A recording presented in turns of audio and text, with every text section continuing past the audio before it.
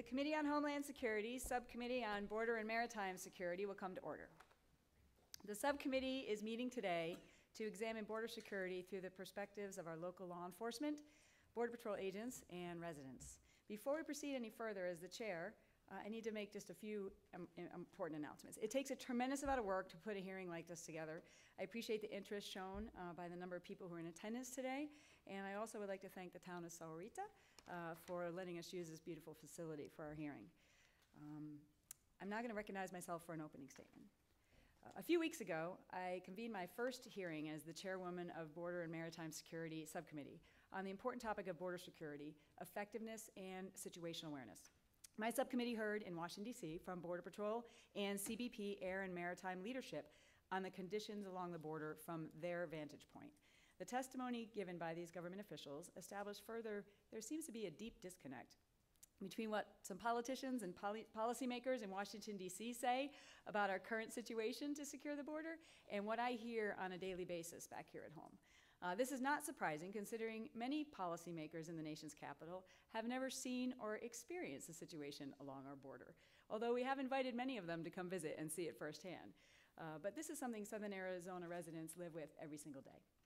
At my first hearing, Border Patrol officials stated they have the ability to interdict and apprehend more than 80% of the illegal traffic on the southwest border, which sounds like an improvement from the last time they measured operational control of the border in 2010, where it stood at 44%.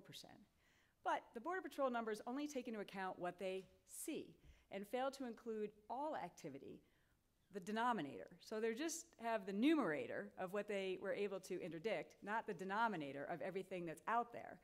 So it's really an incomplete, if not misleading figure, and doesn't give an accurate assessment of their current strategy's effectiveness. At the same hearing, after I pressed them, CBP admitted to having only roughly 50% situational aware awareness of the border and border activity.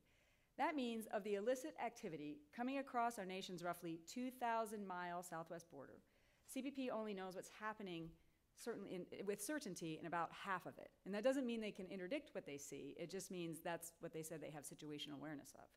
The truth is, the border is not secure as it needs to be. We all know that here in this room and in this community. And the Department of Homeland Security for years has been trying to sell the American people a false narrative that the border is now more secure than ever.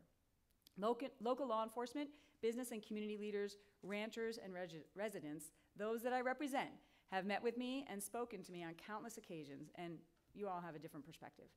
You also have a better understanding of the very real border security challenges faced by fellow citizens because you live and work here and experience the ramifications of an unsecure border every day. Viewing the border through the eyes of local residents, like those before us today, arms policymakers with firsthand experiences on what is and isn't working in border security efforts. And at the end of the day, I want to get down to the business of finding thoughtful, common sense solutions to improve border security. We are fortunate to have the brave men and women of the Border Patrol do all they can with the tools that they are provided. However, they're often hampered by outdated, flawed strategies or political leadership that doesn't have the resolve to let them do what agents do best secure the border and protect our communities in the homeland. Rural border security is a challenging task. Agents do a difficult job, often alone in rugged terrain. They are subject to a rising number of assaults, which are not frequently prosecuted, and on a daily basis put their lives on the line to prevent cartels from trafficking drugs, money, people, and weapons through our communities. Local law enforcement officers are often willing and able border security partners, so we need to properly fund and equip them uh, through programs like Operation Stone Garden in order to assist federal government, the federal government's efforts. Information sharing, joint operations, and collaboration should be the pillars of this approach and will help maximize the results for the whole community. And every day, our fellow citizens, including many in attendance here today, must endure the hassle of border security checkpoints and fear the consequence of illegal activity on their properties or have their businesses harmed by a perception of the border that is not totally square with reality. Legislation I authored that recently passed in the House directs the Border Patrol to develop a new strategy that's based on a full assessment of the threats along our southern border, including where we have vulnerabilities, the impact of terrain, where we have gaps in situational awareness and operational control, and where the drug cartels are beating us. Having a frank and honest discussion about what the witnesses see and experience on the border and their proposed solutions will help us ensure the nation's border security efforts protect the citizens who live and work on the border every day, as well as secure the nation. We have a very diverse group of witnesses today to provide important perspectives on the challenges, complexities, and solutions regarding border security. As the saying goes, where you stand depends upon where you sit. And I think in this case, it maybe is adapted to where you stand depends upon where you live and where you work. And that, I think, applies for our witnesses here today. From reading some of the written statements, or all the written statements, of course, we do have some different viewpoints that will be expressed today uh, from our witnesses, and some disagreements on how to address these issues on a variety of different topics. I look forward to a fruitful, spirited, but respectful discussion and debate on this issue. And I would ask we'd all consider, I think we can learn something from each other and maybe find some common ground, since we all have, I think, the desire to keep our country and our community safe. So let's start with that main objective and then figure out how we can find common ground to address these important issues. I look forward to the testimony of our witnesses today, each of whom brings a unique and per important perspective. I want to especially thank uh, my colleague from New Mexico, Mr. Pearce, uh, a fellow Air Force combat pilot as well, by the way. Mr. Pearce re uh, represents the 2nd Congressional District of New Mexico, which borders Arizona's 2nd Congressional District to the east, is also home to many miles of the southwest border. And I now want to recognize the gentleman from New Mexico, Mr. Pearce, for any opening statement he may have. Thank you. I'll just be brief. Uh, thanks for not saying also that you flew in this millennium and I flew in the last millennium. So I appreciate uh, leaving that part out. Um, the when when you when you deal with the voters, which we have to do every two years, you start to understand that, that they don't really want to focus too much on the exact circumstances of, of bills and legislation. Instead, it's like the tide moving back and forth. And I will guarantee you that people in this country right now do not feel safe. And so Washington can say the border is secure all they want, and, and I appreciate reading your testimony, sir, that that uh, says that we got work to do and we need to be more transparent, more honest. Uh, I think that the beginning point is exactly what we're doing here, getting all the stakeholders together. Uh, Congresswoman McSally came in and immediately took a lead role in this. Her district and mine butt up against each other. I'm just across the, into New Mexico all the way to El Paso. And we see very strong similarities. Uh, and you just have the sense here that, that the closer you get to the border, the more that people just are very unsettled. And we as a nation need to be dealing with that unsettlement. Of course, the problem is that some people want to solve it one way and some another. And so the testimony that I've read today, and I really appreciate uh, the balance that you have in the panels, because that's one of the keys. Uh, you can't just approach it from one direction. So I'm looking forward to it. Uh, I will just tell you frankly that I think both parties have gamed this issue for, for years. And so the fact that it's here and we're dealing with it in the fashion that the anger has reached the level that it has uh, just tells us uh, it's time to get to work and do what we were sent there to do make hard decisions about very difficult things in a pragmatic and sensible way. So I'm looking forward to uh, the discussion and uh, seeing what we come up with. Thanks again. Appreciate uh, the invitation to be here. Okay, so we have two panels today. The first panel has three people on it, and the second panel has five people on it. We tried to group them, generally speaking. Uh, we've got elected officials, uh, we've got a, a, a, our Cochise County Sheriff, uh, and, and Mr. Del Cueto is uh, representing the Border Patrol agents. So this is kind of the official perspective, if that makes sense, the public sector perspective. And then the second panel has a mix of individuals that are, are from the community and the private sector uh, providing different perspectives. So I just want to wanted to lay that groundwork. And I do want to acknowledge, we do have the Pima County Sheriff, uh, Nanos, here in the audience. We appreciate you, you coming uh, for, our, for our discussion here today. Uh, so first, I'll give a couple of introductions and bios here. Sher- Sheriff Mark Dannels is the Sheriff of Cochise County, Arizona, a position he's held since November 2012. Sheriff Dannels began his law enforcement career in 1984 after serving in the United States Army and progressed through the ranks within Cochise County Sheriff's Office after working numerous specialty assignments and leadership roles. He is a member of numerous organizations, including the Fraternal Order of Police, the National Sheriff's Association, the Southwest Border Sheriff's Association, and the Arizona Homeland Security Regional Advisory Council. Mayor Danny Ortega is the mayor of Douglas, Arizona. Mayor Ortega was born and raised in Douglas and also serves as the vice president of his family owned business that was first established in Douglas in 1923. He has been involved in many organizations in the Douglas community, including the Douglas Chamber of Commerce and the Douglas Noon Lions Club. Mr. Art Del Cueto is the president of the Border Patrol Union Local 2544. Mr. Del Cueto has been a Border Patrol agent since 2003 and began his career in Casa Grande, Arizona, where he helped in the effort to establish a new substation at Three Points, Arizona. Prior to working for the Border Patrol, Mr. Del Cueto worked um, in a maximum security state prison in Tucson. The witness's full written testimony will appear in the record. The chair now recognizes Sheriff Dannels for his verbal testimony. Good morning, everyone. Chairwoman McSally, Mr. Pearce, thank you for having us today, and thank you, both of you, for just your awareness and support in, in these issues. Um, with me today is also Pima County Sheriff Chris Daniels, who's sitting to my right, who's also your Pima County Sheriff here, um, who works closely with us on the Southwest Border Task Force. With 83 miles of our national border within its jurisdiction, Cochise County plays a significant role in combating drug and human trafficking organizations and the associated violent crime which adversely affects Arizona residents and other areas throughout the United States. With 6,219 square miles, Cochise County is the 38th largest landmass county in the United States. One of Mexico's largest and most notorious trafficking organization, drug cartels, the Sinaloa Cartel, has long employed the use of local Mexican uh, drug trafficking organization DTOs to carry out cartels' drug distribution and transportation in and throughout the United States. The Mexican drug trafficking organizations operating in Cochise County are highly sophisticated and innovative in their transportation methods. Violence against innocent citizens, public officials, law enforcement, and rival drug, human trafficking groups in Mexico continues to escalate.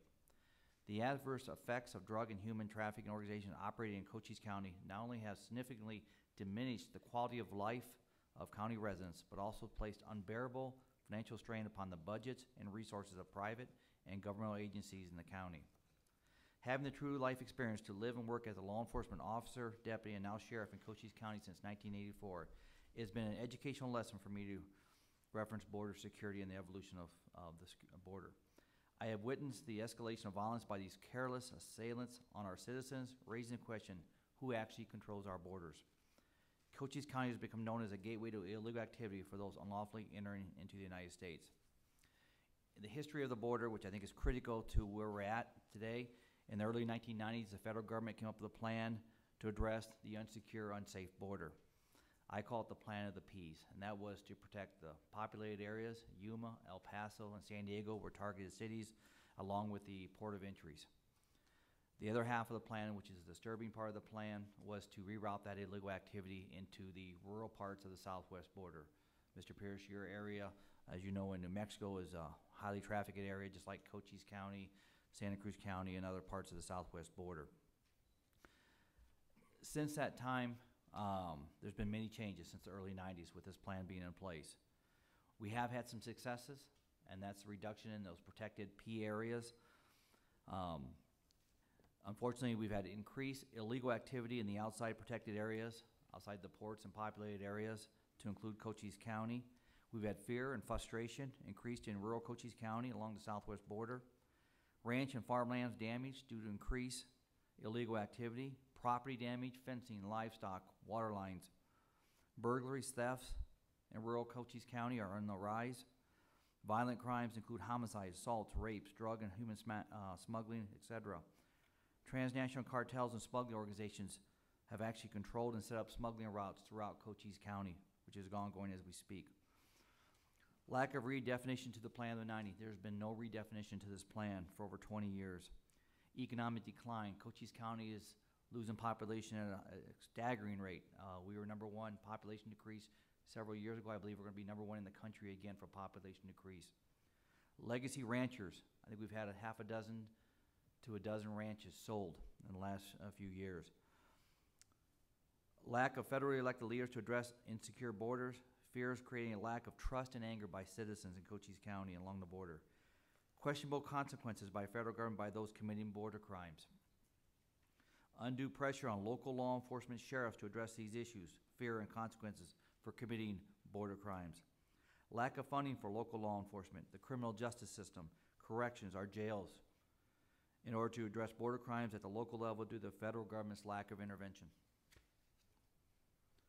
Local solution programs are no longer a thought but a mandate. Many sheriffs on the southwest border, to include Cochise County, have taken our stationary, uh, stationary, excuse me, and elected oath seriously and the fact that to protect their freedoms and liberties, we have enacted many programs um, balanced community policing through education, prevention, enforcement, transparency, plus time, we build community trust, collaborative efforts coming from the local side with all three levels of government.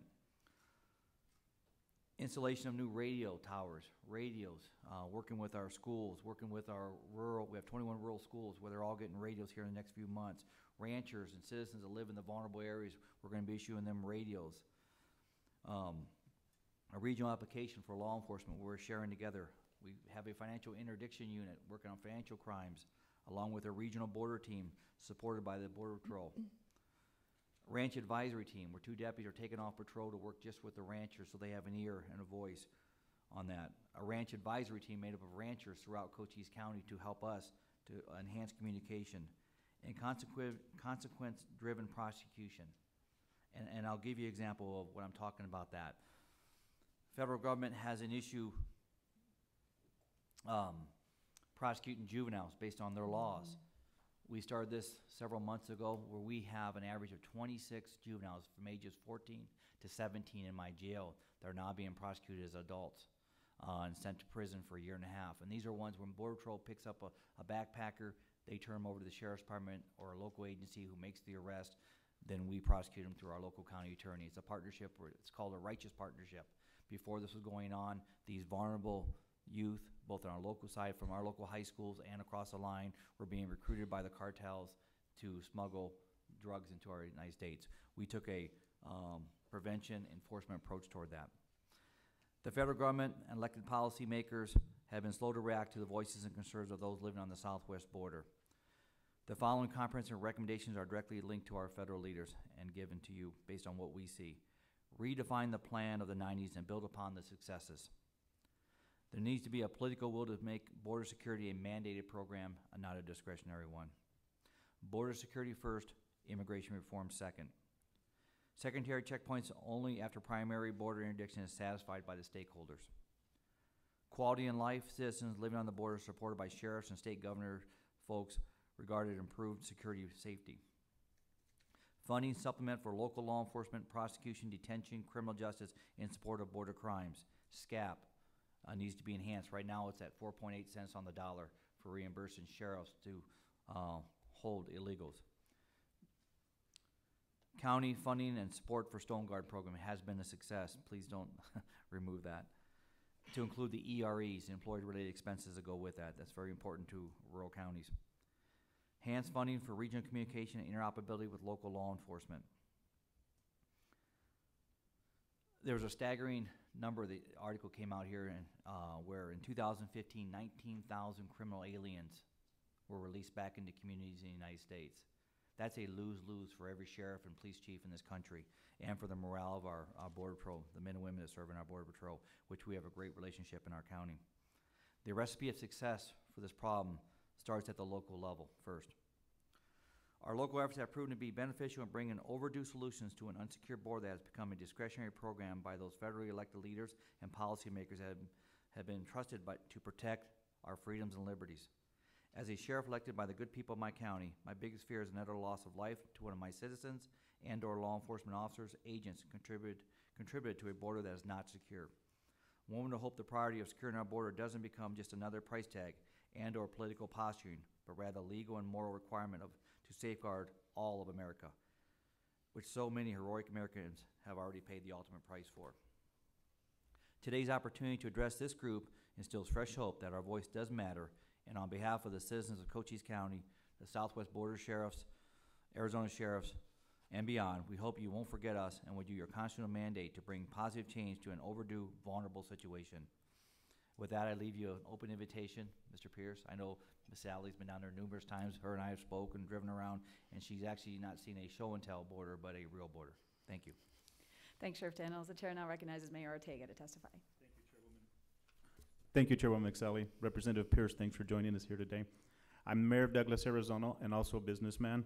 Uh, my family came to Douglas in the early 1920s and established a shoe business there, and we've been running it ever since.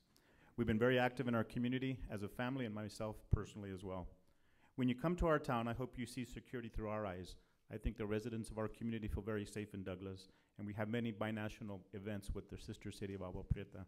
We recently had a binational concert that drew hundreds of people where a, a band played on the Mexican side and then followed by a band on the American side. I understand the need for more security away from the ports of entry, but we cannot let that get in the way of the legal crossing of goods and people. As I have often heard, we need high fences and wider gates. We also need to talk about making it more efficient and easier to trade goods and services with Mexico.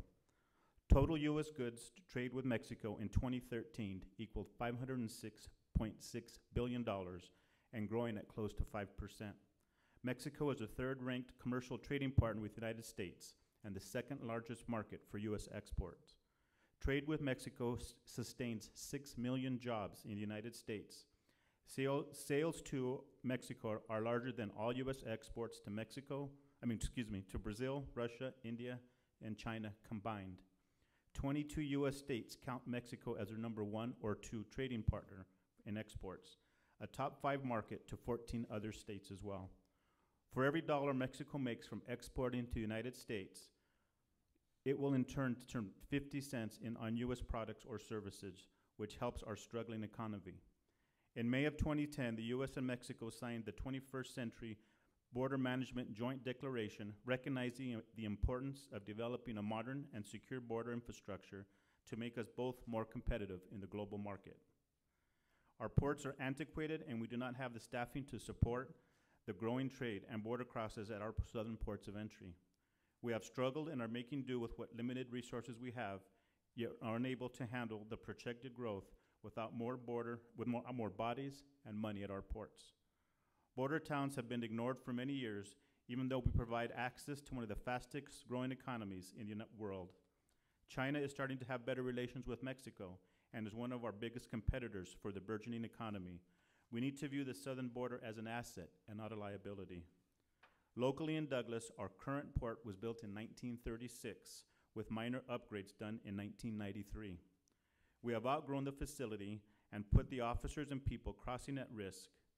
If there is ever a chemical spill at our current port, we do not have a hazmat facility that could control such a spill. We, we ship many chemicals to the mines in uh, Cananea, Mexico, and Nacozari. We have trucks waiting for extended periods of time, polluting the air with exhaust. We do not have the modern equipment to inspect trucks or cars because of the lack of funding and space. Douglas is considered a small port, yet over one and a half billion dollars worth of merchandise crosses our port on a yearly basis, and that number is growing at about five percent over the last five years. We have seen growth in the maquiladora industry of about forty percent in the past uh, five years, and that that growth is starting to show on the American side. We currently applied for a new port of entry. We think we need to take the commercial port out of our local uh, footprint. Uh, Congresswoman McSally's been very supportive of that effort, and we thank you for that. The cattle industry is also very large in our area. We currently cross about 1,500 head of cattle a day in the peak season of November to May. That's over $2 million a day in cattle crossing to help support the American appetite for beef. We need some in- investment in our ports of entry. Roads, the road to the cattle pen is currently a dirt road that is not maintained. And we're looking to work with some of our local uh, investors to see how we can improve that port. We also need to streamline the process in which Mexican citizens have the ability to obtain a B1 or B2 border, cro- border crossing card to come to the United States, shop, and visit our communities on a legal basis. As our general funds from the sales tax, uh, excuse me, 65% of our revenue for the city of Douglas comes from sales tax, and 80% of that money comes from the Mexican consumer. We need help in just getting people across the border, back and forth. I've spoken to many friends on the Mexican side. Many are proud to be Mexicans. They do not want to come and live here. Some say they just want to come here and shop, visit our country, and then go back home. There's a net loss in migration currently, according to the Pew Institute. More people are actually Mexicans are leaving our country versus coming into our country.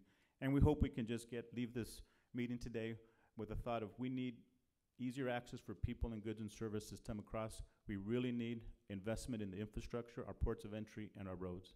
Uh, thank you for listening to me today, and I'll entertain any questions later. Thank you. Thanks, Mayor Ortega. And uh, for the record, Chair, I just want to make a comment that we, our second hearing we had in Washington DC last month was really focusing on the infrastructure and the staffing at our ports of entry, which is, uh, has been a critical issue for us in our community, really across the country, and uh, identifying what we can do to speed up the hiring of the uh, CBP officers, as well as uh, upgrading the infrastructure project. We very much have been working closely on that and are dialing on that. You know, today we're trying to focus on the in between the ports and the security issues there, but it's important to have the full picture, uh, you know, of our witnesses as we're sort of framing the discussion. So I just want to highlight, we're not ignoring that issue in this particular hearing, but I just wanted to frame that, especially for our, our audience.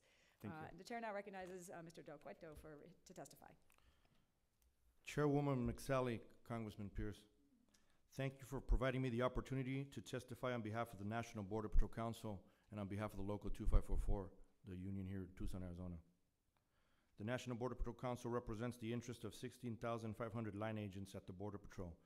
My name is Art Del Cueto. I am a native of Douglas, Arizona, and I have been with the Border Patrol since 2003. One of the many areas in which the Border Patrol excels in keeping statistics is the Border Patrol can tell you in detail how many agents we have. They can tell you the number of overtime hours that are worked, the number of apprehensions, or the hours of air support delivered by CBP Air and Marine Operations. It's really quite impressive. If I was a member of Congress from a non-border state and I sat through a CBP briefing about how the border was secure, I would be inclined to believe them. The primary statistic that Commissioner Kerlikowske talks about today in support of his belief that the border is secure is the number of apprehensions, which is down. At the height of illegal immigration in 2000, Border Patrol apprehended 1.6 million people. In the Tucson sector alone that year, we arrested 616,000 illegal immigrants. To put this in perspective, the entire population of Tucson in 2000 was 486,000. That was how massive this influx was. Back in 2000, we were facing a wave of Mexican economic migrants in search of employment. There was little organization, and most illegal immigrants simply loaded up a backpack of supplies, jumped the border, and headed north. This lack of organization frankly made them relatively easy to catch if you could deploy Border Patrol manpower. Fast forward to 2016. The entire border is controlled by the Mexican drug cartels. The drug cartels control the border in the same way that most prisons are controlled by the inmates. Nothing moves along this border without their permission, and illegal aliens and narcotics are simply two lines of business within that same organization. Here in Arizona, we have the Sinaloa cartel. The 63,000 individuals that we arrested last year in this sector paid the cartel a considerable amount of money just to cross in our area. Only based on the individuals we arrested in this sector, the Sinaloa cartel made millions from illegal alien smuggling. If there is one point that I want to make in this entire testimony, it is that the money that the cartels earn from illegal smuggling underwrites that exact same organizations that are flooding our streets with narcotics. Money is flowing back to the same organizations that are responsible for the violence in Mexico, which has murdered over 150,000 people. It is going back to the same organization that, that threatens the very viability of Mexico as a sovereign democracy. This is the nature of the threat that we are facing. The last time we had comprehensive immigration reform in this country was in 1986 with the passage of the Immigration Reform and Control Act. This legislation gave amnesty to any illegal immigrants who had arrived before 1982, and it is responsible for the tidal wave of illegal immigrants that we saw in the 90s.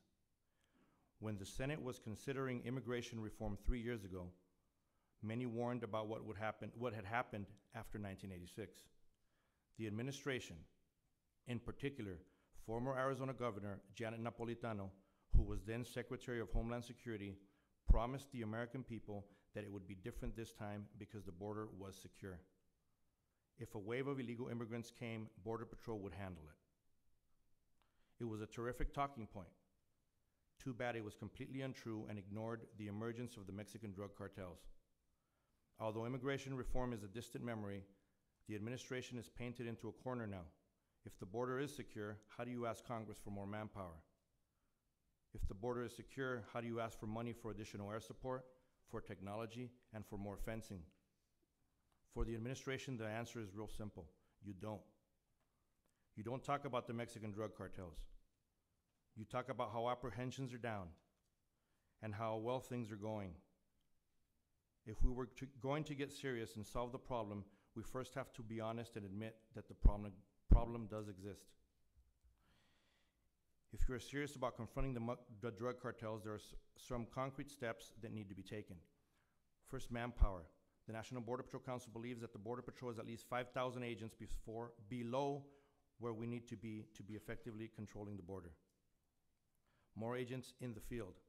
The Border Patrol is extremely top-heavy organization with multiple layers of management that are completely removed from the field. If the Border Patrol has the same supervisory staffing ratio that Sheriff Dannels' department has, we could return close to two thousand agents back to the field. More effective deployment. Currently, almost all our resources are clustered too close to the border. We are effectively playing goal line defense every single day. If an illegal immigrant or a drug smuggler gets more than ten miles north of the border, they might likely not get caught. We need to have a defense in depth with multiple layers in order to be effective. We also need to make rational decisions to the use of forward operating bases. Forward operating bases had a time and place years ago, but are an incredibly inefficient use of resources today. End our catch and release program. One of the main drivers of illegal immigration in our own, is our own immigration policies. For example, under the current policy, if a Border Patrol agent does not physically see an illegal immigrant cross the border and the illegal immigrant claims that they have been here since 2014, we have been ordered to process them and let them go. In many instances, we will be letting them go without even issuing a notice to appear. This is a policy that is senseless. It is literally driving illegal immigration to our front door. I want to thank you for giving me the opportunity to testify, and I am happy to answer any questions you may have. Thanks, Mr. Del Cueto. Uh, Now recognize, recognize myself for some opening questions, and then I'll, I'll uh, provide opportunities for Mr. Pearce, and then we'll probably have a couple rounds here. So uh, first, I want to ask really the whole panel. It's a two-part question.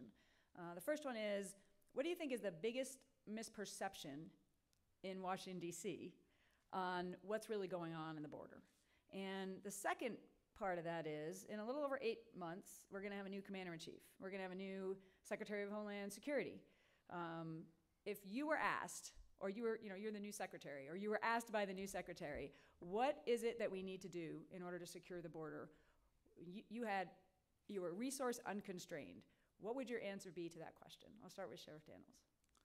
Thank you. The, the first thing is that take off the myth, and, and Mr. Del Cueto. Cueto, if I can say that right, uh, states it clearly is you got to identify there's a problem. And that has been a myth through media, through different change, different avenues, but the bottom line is they need to identify there's a problem so you can fix the problem and that the border is not secure. This plan needs redefinition, like I said in my brief, I said in my verbal um, um, statement today, we have to identify that. Number two is is you have all layers of government working together, starting at the local. Community problems have been addressed for years and years and been successfully addressed in communities first, not in Washington, D.C.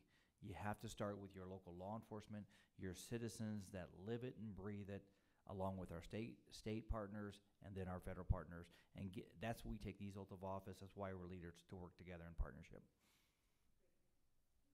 Thanks, Sheriff Dannels. Mayor Ortega?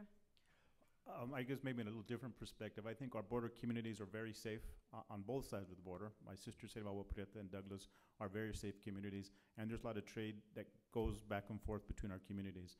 I unfortunately disagree with Mr. Del Cueto. I think in talking to some of the outlying areas, they want more agents closer to the border to try and stop the, the people illegally coming across, where it's primarily drugs at this time. Um, but as far as our community goes, there's, our community is safe, but I think the outlying areas are not, and I think they would like to see more agents closer to the border. I wish there were some incentives to have the border patrolmen actually live within our communities. It seems as though we don't have agents living in our communities, getting to know who we are as a community, who the good people and who the bad people are. I think that would ease a lot of the relations between the border patrolmen and the communities that they serve. Okay, thanks, Mayor Ortega. Mr. Del Cueto? I would outline what I've uh, stated previous. The border is not secure. Um, There's many communities within Mexico where the uh, drug cartels and the people that work for these cartels run rampant. Just in the sister city of Douglas, uh, I think, I believe a year ago, Um, they declared some kind of law where they had to close down the streets at ten PM because people were getting randomly murdered. Um, I think they need to pay attention to the boots on the ground, uh, and get away from this dog and pony show that DC brings down here to the borders and explains that everything's nice and happy. It's not. It, it is a war zone out there. Uh, in Tucson sector alone, I believe within this last two weeks, we've had three shootings already. Um, it is not secure. There are individuals that once they get past, uh, the agents that are near the border, they pretty much are home free and it's harder for us to find them and detect them. Thank you. Great, thank you. Um, so I, I don't want to put words in anybody's mouth, but I can we, ca- does the first panel, do all of you agree that, um, and again, this is the, I think the second order consequences of the strategy over the years, right? Has been populated areas first, right? Let's address, uh, again, we saw addressing even California, pushing then the activity into Arizona, and then within Arizona, uh, addressing, trying to uh, deal with the urban areas first, pushing the illegal activity into the rural areas. And so the consequence of that is the rural areas are where the high propensity of this, especially cartel activity, is happening, uh, which is increasing uh, danger and security for those that are living out in the rural areas. Is that, is that a fair statement to make that the whole panel agrees upon? I would agree, and if I could say something, Mayor Ortega, when he speaks about the security of his city, he's a direct product of that plan from the nineties, and he's exactly right. Douglas is safer than it ever has been, but that illegal activity, uh, as you're describing, is in Cochise County in the rural parts, and those folks that live out there don't deserve that. Every- You agree? Agreed, yes. uh, Dan- Danny? Yes, I agree. Okay, thank you. Um, and, and so, gi- given that now we're dealing with, a- okay, this is a public safety issue, uh, to these rural communities uh, that are often miles and miles, we heard from our second panel, you know, sometimes away from another individual, out there kind of on their own, dealing, dealing with this cartel activity.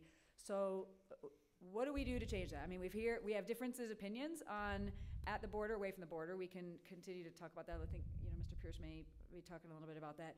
Uh, but what about the combination of um, barriers, uh, technology, air assets, manpower? I just, does anybody have a comment on uh, the strategy as it relates to the mix of these, uh, uh, you know, these types of tools?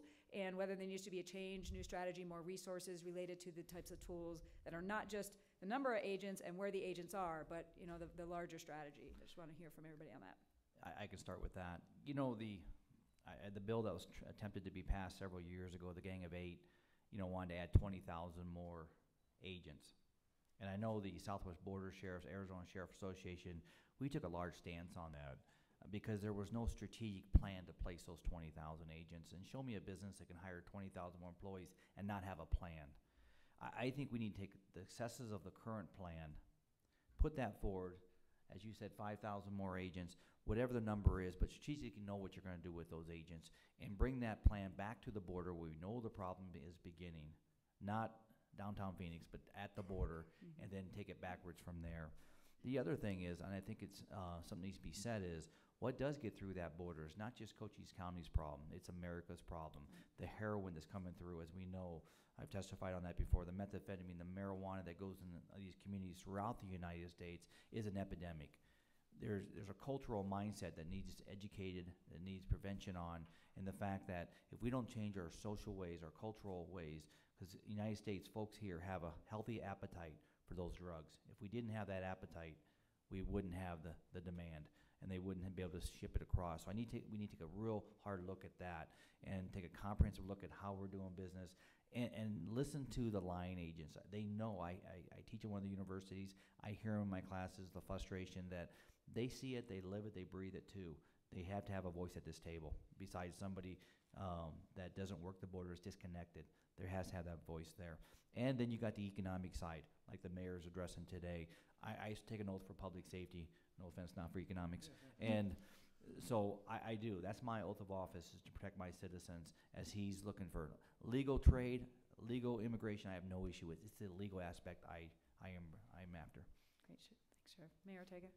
I also think we need some investment in not only the infrastructure for our ports, but the technology within our ports.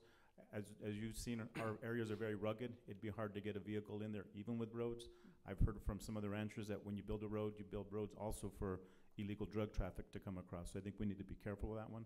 But there's technology out there, whether it's drones or that type of equipment, to survey the outlying areas. but also the increased technology at our ports of entry. I think we're going to start seeing more drug trade crossing through our ports uh, unless we invest in some infrastructure to check not only the trucks and the, but the passenger vehicles as well. Great, thanks. Mr. Del Cueto? One of the big things they need to focus on is these policies. They need to change and start enforcing some of these policies that we have on the book. Um, currently, like other people have, have noted, the illegal immigrants that enter in Arizona, the numbers have gone down. But like I stated earlier, those numbers have gone down because the drug cartels are the ones that are running everything on the south side. Tucson sector currently still sits well over fifty percent at all the drug seizures that are uh, seized in the entire country. That is an outstanding number. We need to take care of that.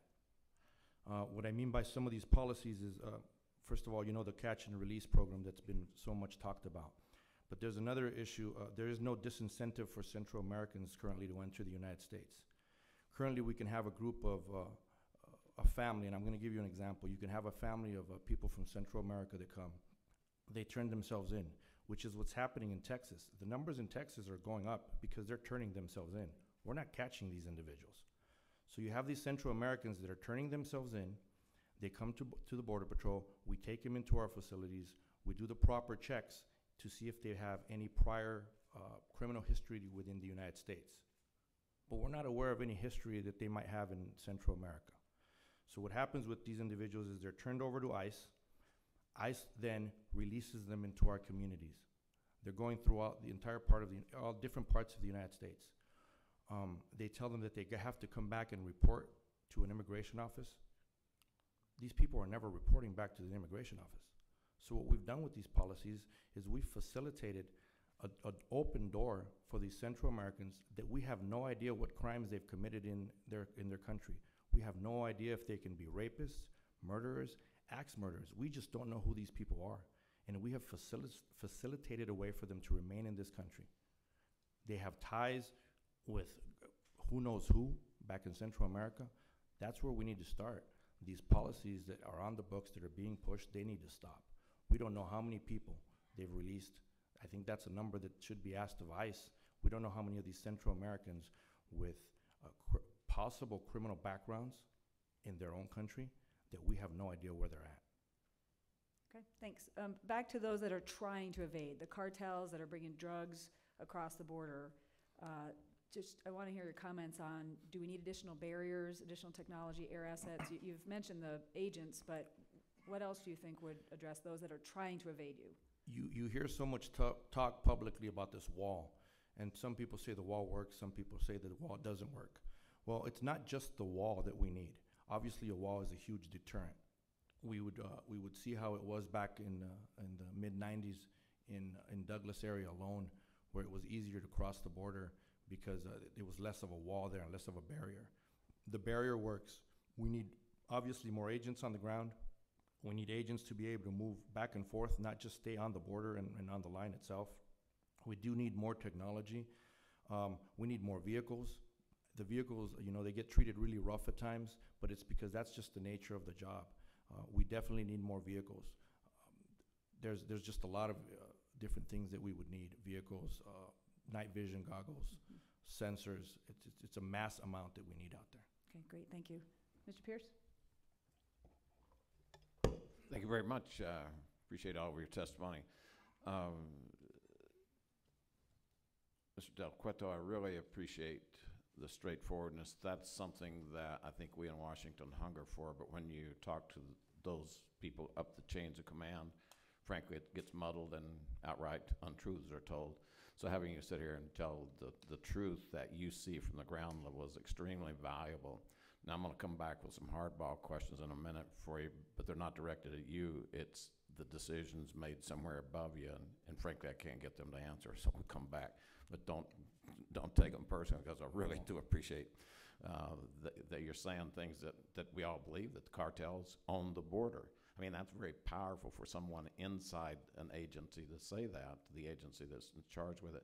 Mr. Ortega, I want to do a little housekeeping on you. You were saying uh, that, that uh, you would disagree with the other two, that the border is secure and that you feel safe. Now, when the, uh, when the sheriff said, well, the, the city is safe, but, um, but it's not in the rural areas, you're shaking your head. can I, and the head shakes don't show up on the transcript, frankly. And so in Washington, they're only gonna, uh, they're gonna quote you, nah, this mayor says it's okay. So could you confirm just verbally that, that you would agree that the rural areas, um, are, are struggling for feeling safe uh, while your area feels okay as, as? Yes, sir, that's Yeah, correct. Okay, all right, so Yes, we sir. got you on the record Okay. Because it is, I mean, people, people will take your one sentence and that'll be the only thing they would extract out of this entire hearing. So I-. I- again, appreciate the recognition. Yes. Now, uh, Mr. Del Cueto, you say that you would use five thousand more people. I was there, and keep in mind that, that we had to fight, fight the Bush administration equally as hard as this one. It is not a Republican-Democrat issue. It is Washington saying everything's okay and we're gonna do it this way. And the people out in the field, we're gonna say they're lying or cheating or stealing or something. We're just gonna, so I watched as we put ten thousand more agents. We doubled the, the patrol from ten something, twelve, up to about twenty-three. And yet, the, the general consensus of people who live on the New Mexico side of, of the border said it didn't change things a bit. Tell me how five thousand people would solve that, or why that ten thousand didn't, if you can. And again, I know this should be coming from way high up, but they just refused to answer the question, frankly, in the hearings up there. So it's a two-part question. I'll first start with uh, the, the mass amounts of hirings that we did and uh, with the extra ten thousand that you mentioned. A lot of these issues is the Border Patrol grew, but other agencies didn't grow. So what happened many times is these, these same agents that we hired within the patrol were farmed out to other agencies. There were agencies farmed out to prosecutions within the, uh, the states. There was also agents that were farmed out to the ports of entries. Some of our canines were sent to the ports of entries. So a lot of the agents that did, the new agents that came in were farmed out to other uh, Okay. agencies. And at the same time, they developed other programs. So I believe that's where the top heaviness comes in. They put too many agents in other programs that aren't really uh, line agents. Um, so when we ask for these additional 5,000 agents, that's why it's, it's a mixture of the policies and the internal uh, business within the Border Patrol, where they need to know how to deploy these agents and uh, do away with some of these programs and maybe some of these top-heavy agent, uh, agency programs that we do have. Okay, now from your testimony, uh, and you don't have to answer the next question, and feel free to just say, hey, I'm not touching it. Uh, But uh, from your testimony, it seems that you were critical of the amnesty program back under Reagan because we did not do anything to secure the border. And so my question is, do you think that amnesty, and, and keep in mind, Washington, from our side of the table, only talks big issues. They don't ever get down and really discuss what we're discussing here today. So amnesty versus not amnesty, is amnesty uh, productive, or is it simply an encouragement to other people that uh, if I get there illegally, they'll fix it? And you don't have to answer if you don't want to. To your, to, to, to help you out, you did tell me I didn't have to answer it, but unfortunately, I'm gonna go ahead and answer it.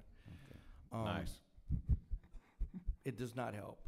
Yeah. Uh, I lived in, in, in Douglas, like I said before, and I saw uh, many people that would cross into uh, Douglas that never lived here, that never worked here, and they would play, they would pay different uh, business owners, uh, not just in, in Douglas, I would say, but business owners within the United States, so they can uh, get paperwork stating that they had been here, and then those individuals, uh, a lot of them, were able to obtain amnesty.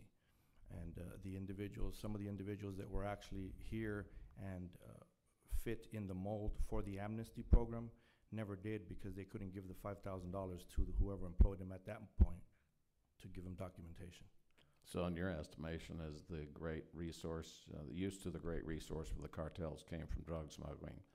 Now then, it sounds like human smuggling probably eclipses that, and drug smuggling is a secondary revenue producer. What is your opinion of that? Well, I think it's both. Um, like I said, we, through intel that we uh, acquire, you know, we catch different individuals in these areas, and they've, uh, that's where we've, uh, the Border Patrol has received information, and we know that a lot of these individuals, uh, they run the, the, the drug smuggling and the people smuggling. So, yeah, the drugs are the ones that are making most of the money. The next question is not intended to be tricky. I'm gonna come over to you, Sheriff. Uh, But it's intended to instead, I think, reflect the culture that ties the hands of our Border Patrol agents. I'm, I have sat out there on the border in the night. I think that our agents could and would do the deal, but I think people above them give them policies that are like the catch and release policies. So, m- again, these are not very easy questions. You can dodge it if you want to, I don't, but, uh, so I read somewhere that, that approximately thirteen hundred Border Patrol agents in Cochise County, more or less. That's correct. That's correct. We have thirteen hundred Border Patrol agents. Well, and I didn't get to my question yet. Oh. I was You, clarifying you for were gonna take the easy road. I'm not gonna let you do that, excuse me. The, um, if you had thirteen hundred people under your command, could you secure the border in Cochise County? Yes. All right. The, so, just to, to repeat what we did, because, uh, you're getting counsel there, and it's good, it's trying to protect us all. The, uh, I probably need counsel at this stage myself, but the, what I ask is if he could secure the border with thirteen hundred people, and he says yes. Now, I tend to agree that if and it's not your people. Again, it's the process and it's the system. If you had your thirteen hundred people and we turned you loose and said secure the border, I think you could. I don't know that the process, I don't know that the system is ever going to let you do it. And so many times I say the only solution is to take the resources and let them work for local elected law officials. Right now, local citizens have no recourse at all. They get frustrated, they get angry, they speak to people like us, they, they get us stirred up, we come out and we make y'all angry. And, and it's because nobody is accountable. And I, I sincerely believe, because again, I've been on the border with the agents out there with their boots on the ground, and I know the heart they have to do, and they talk the same way that you talk here today. And so the great appreciation and great love I have for, for those agents is dispelled because the system is plain keeping it from working. And so always, I just say that if a local sheriff had the responsibility and he had your resources, he could do it. And if he didn't, they could unelect him. But right now, the system cannot respond. And so somewhere we have to, a solution has to reach, reach that, uh, that level. A couple more questions on process, Ms. Del Cueto. The, uh, so I've heard, I don't know if it's just scuttlebutt or whatever, that if people are headed south, if the footprints are headed south with somebody that's created a crime, that they just don't pursue them because they're headed south and they're probably gonna get there before we get them. That's something we hear a lot in New Mexico. Maybe it's true, maybe it's not. Maybe it's just those guys over in El Paso, you know? No, I, I, I, I can't testify to that one. I can tell you that here, uh, I myself, I worked the field, and I have followed footprints uh, all the way to south. Okay. Um, some of the issues that we have is there, we don't know how many are in that footprint. Yeah. So what you do is you chase a group, whether it be headed north or be headed south, and um, they, these individuals walk in a line. So if you can count um, five footprints, you would say five to ten people. Um, I remember ch- uh, chasing a group where um, I counted 15 footprints, and I, I called back and I said, "We have 20 plus." We continued chasing this group, and we, when we finally apprehended it, it was a group of 60 people. So when you're saying 20 plus, um, 60, that's that's a big difference between 20 plus. Most people think 20 plus, and it's 23, 24 people. Uh, in this instance, it was 60 individuals, um, and and that's a huge deal. Um, to touch back on uh, having more agents, and um, uh, Mr. Dano said that he can control it with 1,300 agents. A lot of the thing is some of these agents are put in VCO positions, so they need to take care of the vehicles. A lot of these agents are put in processing, they need to process. We have uh, different agents that are detailed to different positions. Um, in, the- I, I will state down in Cochise County, there's uh, agents that uh, before we used to work uh, different areas of the border. I understand the ranchers' concerns. I understand that there's uh, the ranchers that need more agents in their area. So what that has caused, it has caused a lot of the agents to uh, not work certain areas, and you have some agents bunched up near the ranchers. So now what has happened is you've left other areas more porous. Um, it was just recently in the news in Cochise County alone, two vehicles came through. Um, we never apprehended those vehicles. We don't know what was in those vehicles. We don't know where those vehicles are. And uh, at that point, it was limited resources that were available in that area. The majority of these agents were stationed over near the ranchers. Okay. I've just got one follow-up to that, and I'll pitch it back to you, but if you go to a second round, I obviously have a couple more questions here, but, um, so the idea, has also been pitched out in, in New Mexico, and, and local sheriffs have said it's true. I don't know that it's true, but uh, the idea that you, the Border Patrol just doesn't seek out or prosecute or hold people with less than a certain amount of drugs, and that, that number usually varies somewhere between 120, 150 pounds, maybe more. Is that a, a thing that you find in y'all's directives, or is that something you don't want to comment on? And again, feel free not to comment. I'm not trying to do anything to your career. Well, I've been doing this for quite some time, so I Okay. think my career in moving up in the Border Patrol is pretty much shot I think already. we're both stuck I at the same appreciate it. Congressman. I, I, I appreciate you putting the nail in the coffin on this one. Um, No sweat. We've got uh, really good positions there in Washington. There's, there is many times that we do arrest individuals and we do call the prosecutor and the prosecutor says it fails to meet prosecution guidelines. Yeah, I will say that. All right. Uh, Madam Chairman, thank you very much. I appreciate this. Very good, very good information. I yield back. Great, thanks. Okay, we're going to do a- another round here. Uh, Sheriff Dannels, I wanted, uh, it was in your written testimony, I want to allow you an opportunity to elaborate on the use of spotters, and actually Mr. Del Cueto as well. This is something we've heard from the community, from, you know, multiple law enforcement agencies, uh, that the cartels are using spotters on hilltops uh, with often better communications than our guys have, uh, you know, encrypted uh, solar panels, and uh, sometimes they're up there 30 days at a time. And if we can uh, get them, it's very difficult to prosecute them because you can't connect them to a specific drug load, and so they're often just, um, you know, processed as uh, somebody who's just here illegally. So this was brought to our attention. We actually introduced a bill related to spotter activity, uh, simply making it a federal crime uh, in order to be a spotter and aiding and abetting cartel operations in this way. So I just want to highlight uh, your thoughts and also, Mr. Del Cueto, on the, the, the- trends that you've seen related to spotters. Chairman McSally, uh, you, you're exactly right. When it comes to catching them is the, the biggest obstacle. When we catch, our helicopter, uh, sees them up on the top of the mountains, it's very difficult to see them, but when you do see them, just catch them is the other half of it. They run off, and it's very, very hard to, to catch them. I have a one rancher down there that actually has a camera that's on the, me- that looks onto the Mexico side, it's a border ranch, that there's a house on top of the mountain, and that scouter watches everything on that southwest border in, uh, in that area and directs that traffic around. And we watch them all the time on that camera. And, um, but we know they're in Cochise, our ranch patrol deputies, uh, ride their horses, and ride right up on them and they run and we get them and it's tough. It's very tough. I will say this though, uh, as a solution-based thought, is uh, that our new border team that was put together in the first two years, they had 400 apprehensions. Now, this is a team of uh, about four border patrol agents and about four deputies that work part-time that have been tremendous in their efforts to get these smugglers, to get these um, scouts off these mountain, out of these uh, ranch lands. So 400, about half of that was just pure illegals that were turned over to Border Patrol. The other half were smugglers, um, burglar suspects had broken into homes, you name it. And uh, we have 100% prosecution at the state level. One thing that we did here a few months ago, the county attorney and I, we sat down with Arizona's uh, attorney general and said, "You have to step up the game here. You have to help us. I mean, our juvenile prosecutions is financially hurting us and straining us." And the answer was, "I can't. There's no teeth in the law at the federal side." Which obviously puts a burden back onto local, which there's no financial support for that, but it's the right thing to do.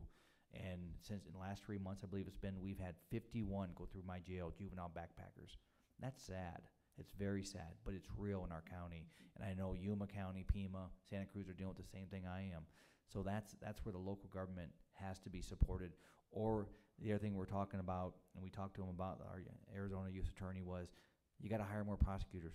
I mean, you can't put just the enforcement component, support, support that, and not the, the jails, the, the defense, the prosecution, it all has to be a balanced approach in the criminal justice system. And then the education prevention side of it too. Great, thank you. Mr. Del Cueto? Can you repeat the question? Yeah, sure, Congressman? related to scouts and spotters, and are you seeing any Yes. trends with them using?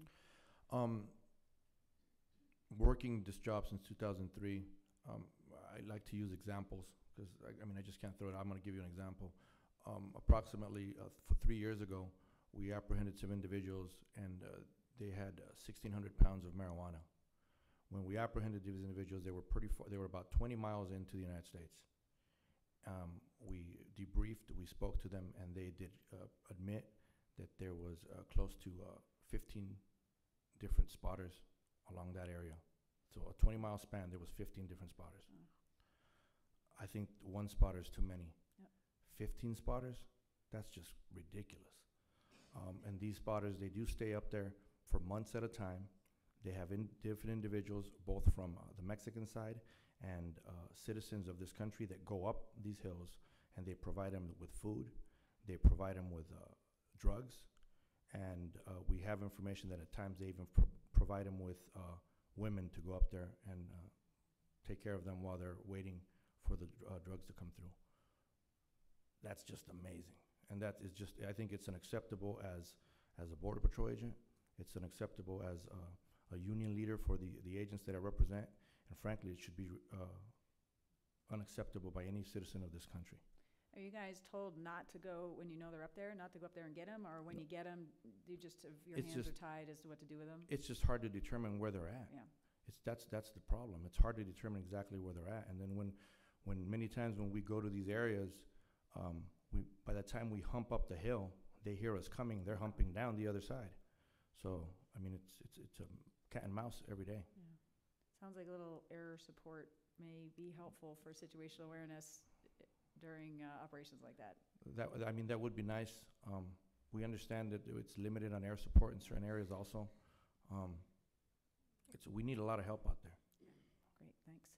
Um, I- want to get everybody's opinions on uh, interior checkpoints. I know there's going to be uh, differences of opinion within this panel and with the next panel, but I, I want to give everybody the opportunity uh, to share their perspectives on how, how those uh, impact uh, the security operations or any other impacts uh, related to your, your roles. Sheriff Dannels? Well, it's become a cultural norm in our county to have to go through a checkpoint and claim your citizenship as an American. And I hear that all the time from the citizens, how that is.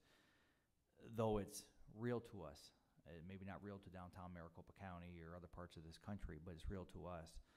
The other thing as a local sheriff that's important is the fact that every time you establish a international port outs, away from the border, it becomes, we have one in, give you an example, Whetstone area, which is north of Sierra Vista. That's the international port of Whetstone. Because what happens is, the smugglers, they know when the checkpoint's open, based on scouting reports. Uh, when it is open, they drop their, uh, smuggling product, whether it be humans or dope, and they go around the checkpoint into these communities, and guess who gets called on it? We do.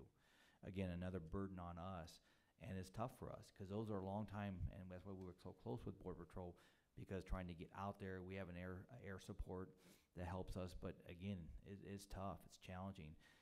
The biggest complaint I hear is, is since the border's not secure in the rural parts, and then we have secondary checkpoints, it is kind of counterproductive. You got, the primary focus should be on the border.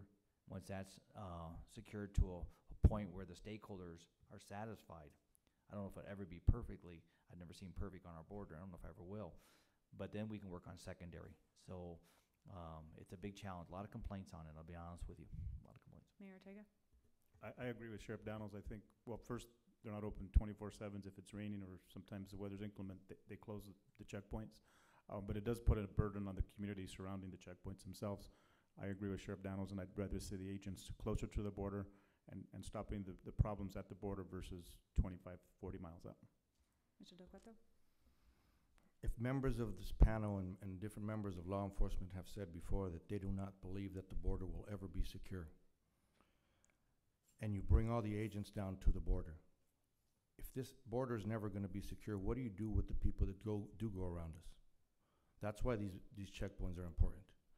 You wanna sacrifice having a checkpoint in these communities, send all the agents to the border. What happens if something gets through us? What happens when they go through these roads? through these main roads down on ninety, through the main roads over here off, of- off of, uh, Willcox and Tombstone area. Nogales. They, they, they serve a purpose, they serve a good purpose, they help derail, they help, uh, deter some of these traffic that comes through. Um, there was a time where we would see an astronomical amount of, uh, vehicles up on I-ten headed towards Phoenix. Um, it, they serve a purpose. Okay, I'd like to follow up on that, and then I'll hand it over to Mr. Mr. Pearce, is, I mean, my understanding from talking to uh, individuals within Border Patrol and the community. This defense in depth, which includes the interior checkpoints in, in both of our districts, right, because you have them in New Mexico as well, uh, was based originally on, uh, again, the strategy of pushing the activity into the rural areas, like we talked about, but then not having enough resources to be able to really, you know, intercept it very quickly. Uh, and with limited resources, you know, the, the best way to address that is to figure out how to funnel the illegal activity in a place that we can monitor and intercept at a time and place of our choosing, uh, is, is the way that strategy has been described to me. Uh, I, I- I may not be parroting it back perfectly, uh, but I've heard, um, again, from individuals in leadership positions in CBP, that they feel they have seconds to minutes to intercept activity in urban areas, and they say hours to days to intercept it in, in rural areas. And so therefore, this defense in depth strategy, which includes the interior checkpoints, uh, the, what was described to me is that the primary role of the interior checkpoints is to make the cartels go around them. I mean, the low-level criminals and others are gonna, you know, get the Darwin Award by coming through a known uh, law enforcement checkpoint with drugs, which I still don't totally understand. But uh, those that are actually the serious traffickers are gonna uh, go, go around, which then, again, pushes the activity into maybe more difficult terrain, which might be easier for you all to corner them. The challenge with all that, that we'll hear, we've heard from some of this panel and we've heard from the second panel, I know we won't have the interaction. When I hear, that, that all might sound reasonable if you didn't have people living in those areas between where they cross and where you can eventually intercept them, 50, 100 miles inland.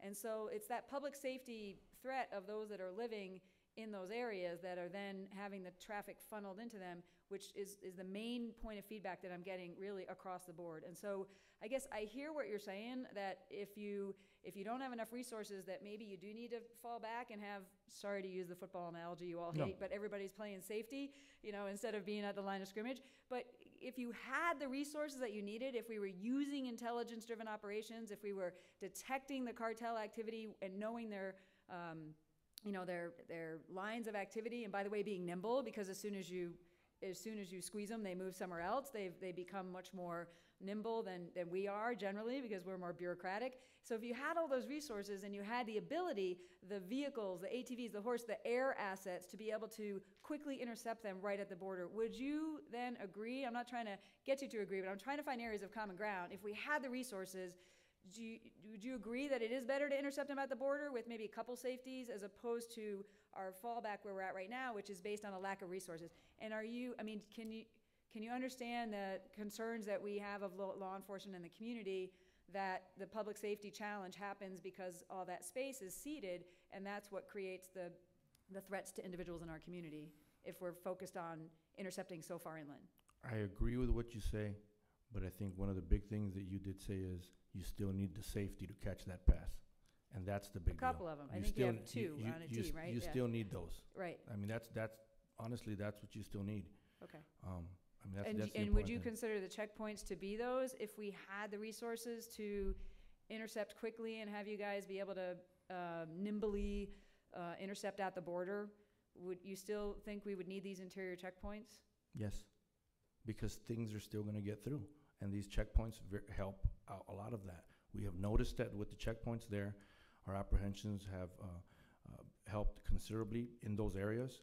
Yes, they moved to more, uh, rural areas, but the agents are out there to intercept, uh, those spots. The- I mean, the, I mean, it's, you're, you're, we're pretty much what we're saying is, um, if we get enough people at the border, then we don't need the checkpoints, but we're still gonna have things that go through. Um, so when you would tell me, uh, get rid of some of these checkpoints, first and foremost, that's not up to me to get rid of. Um, second of all, um, we still need some of these checkpoints. So, I mean, I'm not gonna sit here and agree we need to get rid of them. We still need some of them. Uh, which ones they are, that would be up to the agency to decide on that. But I, I can tell you that, uh, some of the issues that we have at these checkpoints is I understand that the, the, the, the people that live in these areas are fed up with the checkpoints. Um, a lot of times when they come through these checkpoints, it would make it so much easier both on them and on the agent. Um, it's a simple, are you a United States citizen? Yes, I am. Have a good day. And a lot of these times, they'll refuse to lower their window. Um, they'll, they'll get confrontational with the agent. There's a lot of back and forth, and, and you know, these agents, like we spoke earlier, they live within the communities too. You know, these agents are just out there doing their job. Right. And, and that's what a lot of the people need to understand. They're not here to give anyone a hard time. They're here to do their job. That's it. They're here to protect these, uh, our borders. They're here to make sure that whatever gets through the border is, is properly intercepted, it's properly screened, and that our communities are not just safer along the border, but throughout the United States. That's the agent's job at these checkpoints. Thanks. Mr. Pearce? Thank you. I thought I was gonna move off of you, Mr. Del Cueto, but uh, no such luck. We, uh, because you're saying some stimulating things, I might listen or not listen to the words you're saying because uh, frankly, I had a much different opinion about the interior checkpoints, but I can hear the passion and the intensity. And when I see someone who has established the credibility here today that you've established in front of this, this group, then, then I pay attention when people are invested in something. So we might not agree on it, but we would sit at the table if it were just this group trying to solve the problem.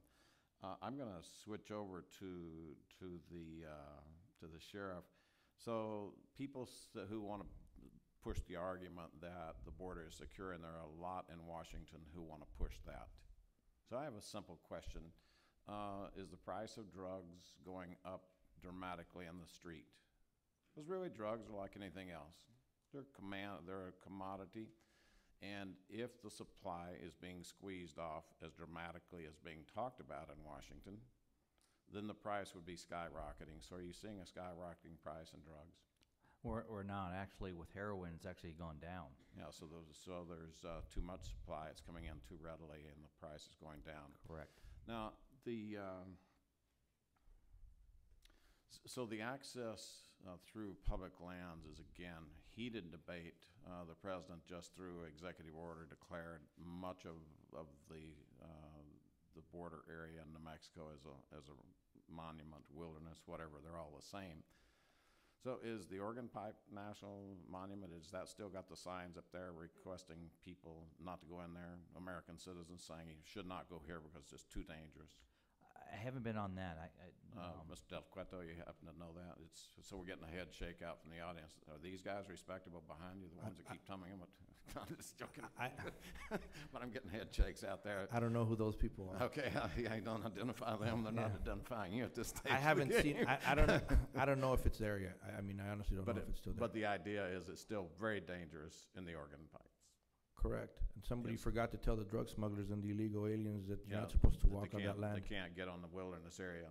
Yeah, it's, but I was the uh, chair of the subcommittee on national parks, and so we t- toured a lot of these. When we went out to the, uh, the redwood uh, forest, whatever that is out there, uh, they actually have, they're, they're mining, uh, they're planting marijuana back in the forests, in the Sequoia National Forest so far that, that they've just tell backpackers you can't go beyond here because you're gonna hit a tripwire and the shotgun they have laying out there on the rail, trail is gonna blow your head off. So they actually stop, stop the traffic because we grow so much marijuana in our national forest that the law enforcement officers can't get there. And you, uh, Sheriff, you don't have free access to chase people who are doing illegal stuff. You gotta go through some bureaucratic process to go in and, and check illegal activity.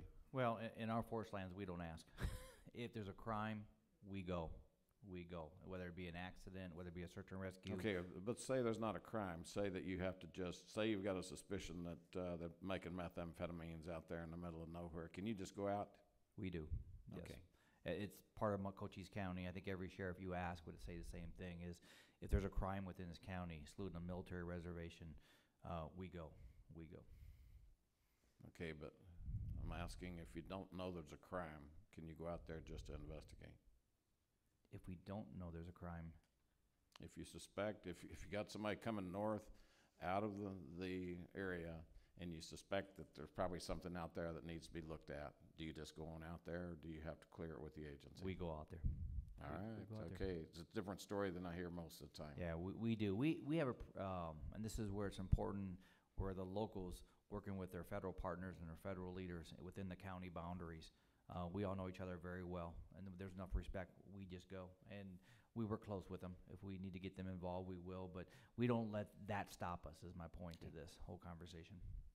Del Cueto, just an observation, I'm just working my way down through the list, so I'm kind of bouncing around a little. But uh, I was in the hearing when uh, Department of Homeland Security, Secretary Napolitano testified in Congress, and we had probably eight border sheriffs disputing her testimony, and she simply said they're lying. I mean, that was really, really, really not a good position for her to establish because I keep hearing the truth out here, and I'm hearing the truth from you.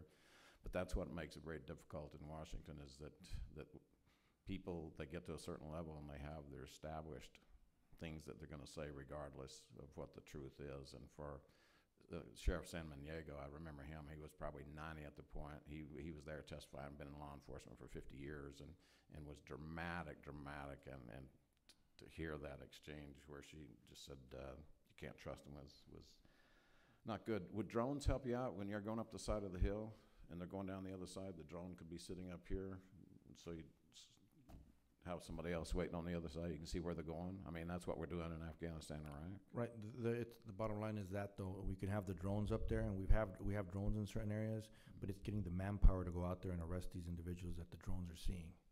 That seems to be a big problem. Okay. Um, a lot, like I said earlier, a lot of our agents are farmed out.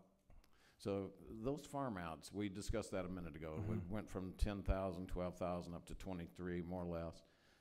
Are those productive farm outs, or would they be better off brought back and put on the, the border uh, like, uh, like I would recommend, but not, might not be a good idea? What is your internal view? You, I, I mean, and that you'd have to speak to the agency and speak to the other agencies, uh, and the agencies that were farming them out too.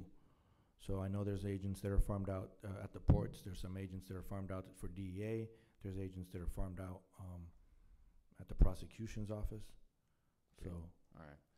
So, uh, again, as I would visit with agents out in the field, they said, okay, I spend about three hours a day on the border, the rest of the time is in, in paperwork. If I catch somebody, it takes me six or seven hours to do the paperwork. Is that more or less accurate, even if the numbers change pretty dramatically, that you catch them and then you gotta go in and do the paperwork? it depends on, um, the individuals we catch, but on the average, you know, you, you never know. It just depends on if they have priors. Uh, Obviously, with some of these catch and release, you're not spending much time doing paperwork. The, because it seems like that it takes a very special person to be there on the border, and then we put you on paperwork, which is not so special. I mean, I could do paperwork, I couldn't do your job, but I could do paperwork. Uh, and, and we take you with valuable, valuable capabilities and put you in doing what a clerk could do, frankly. And yes, I know there, you know, you gotta do some legal things, but, right. so is that a possibility that, that we could redirect? And that's one of the reasons I, I, I spoke about the FOBs. I know a lot of money has been spent on these FOBs. They're in remote areas. Uh, many times when these agents apprehend individuals in these remote areas, it would be easily accessible to go to these FOBs and do the processing from the FOB um, and do all the paperwork there. That way you're still close to the border and be able to move around. And that would be, uh, I mean, I think it would be a huge asset. Do you ever have the top managers in the department come down and ask you all how to, how to solve the problems of assets and- and how to secure the border? Do you have Secretary of Homeland Security ever come down here and ask y'all, sitting right there? you know, uh, Commissioner Kerlikowske was here last week, mm-hmm. and it's the first time I've ever seen him in Tucson sector since he's been in that position. Is he asking you what it would take? I mean, if I was up there, I guarantee if I was, if I was running a business that, that required securing the border, I'd be out here talking to people every day and making adjustments and, you know, putting the, putting the linebackers in or whatever the chairman's talking about over here, but, uh, Honestly, he spoke, and um, he answered three questions, and that was it. Yeah, that's, that's again what I find. The system is broken from Congress all the way across. Every system in Washington is absolutely broken because they don't ask the people who are there. I'm gonna wrap up with one friendly question. Uh, uh, Mayor, I'm Yes. thinking about, sp- I've got two questions actually. I'm thinking about spending a little bit of money before I fly back to Washington this evening and I may run out and get a haircut and I need to know who you use to get your haircuts from. And I'll do that in Douglas and then, uh, but, My wife gives me mine. okay. Oh. Just well, last I, I night. don't guess I'll do that. I'll go to the airport and get a shoe shine instead. We, uh, so you, um, so you hear the push. I know that business is big deal and, and I'm a business guy and I really, uh, I respect that and appreciate it. I appreciate your voice here today. do you find that you, you're a little bit alarmed by the testimony coming around you that it might, that their uh, testimony might influence people that they want to secure the border too much and they begin to, to interrupt the uh, economic activity? Or do you see that all, all can be done, that we can, we can have those wide open gates and, and, and still secure the border? Do you, are you, is that a thing that you get alarmed about? You see where I'm coming from?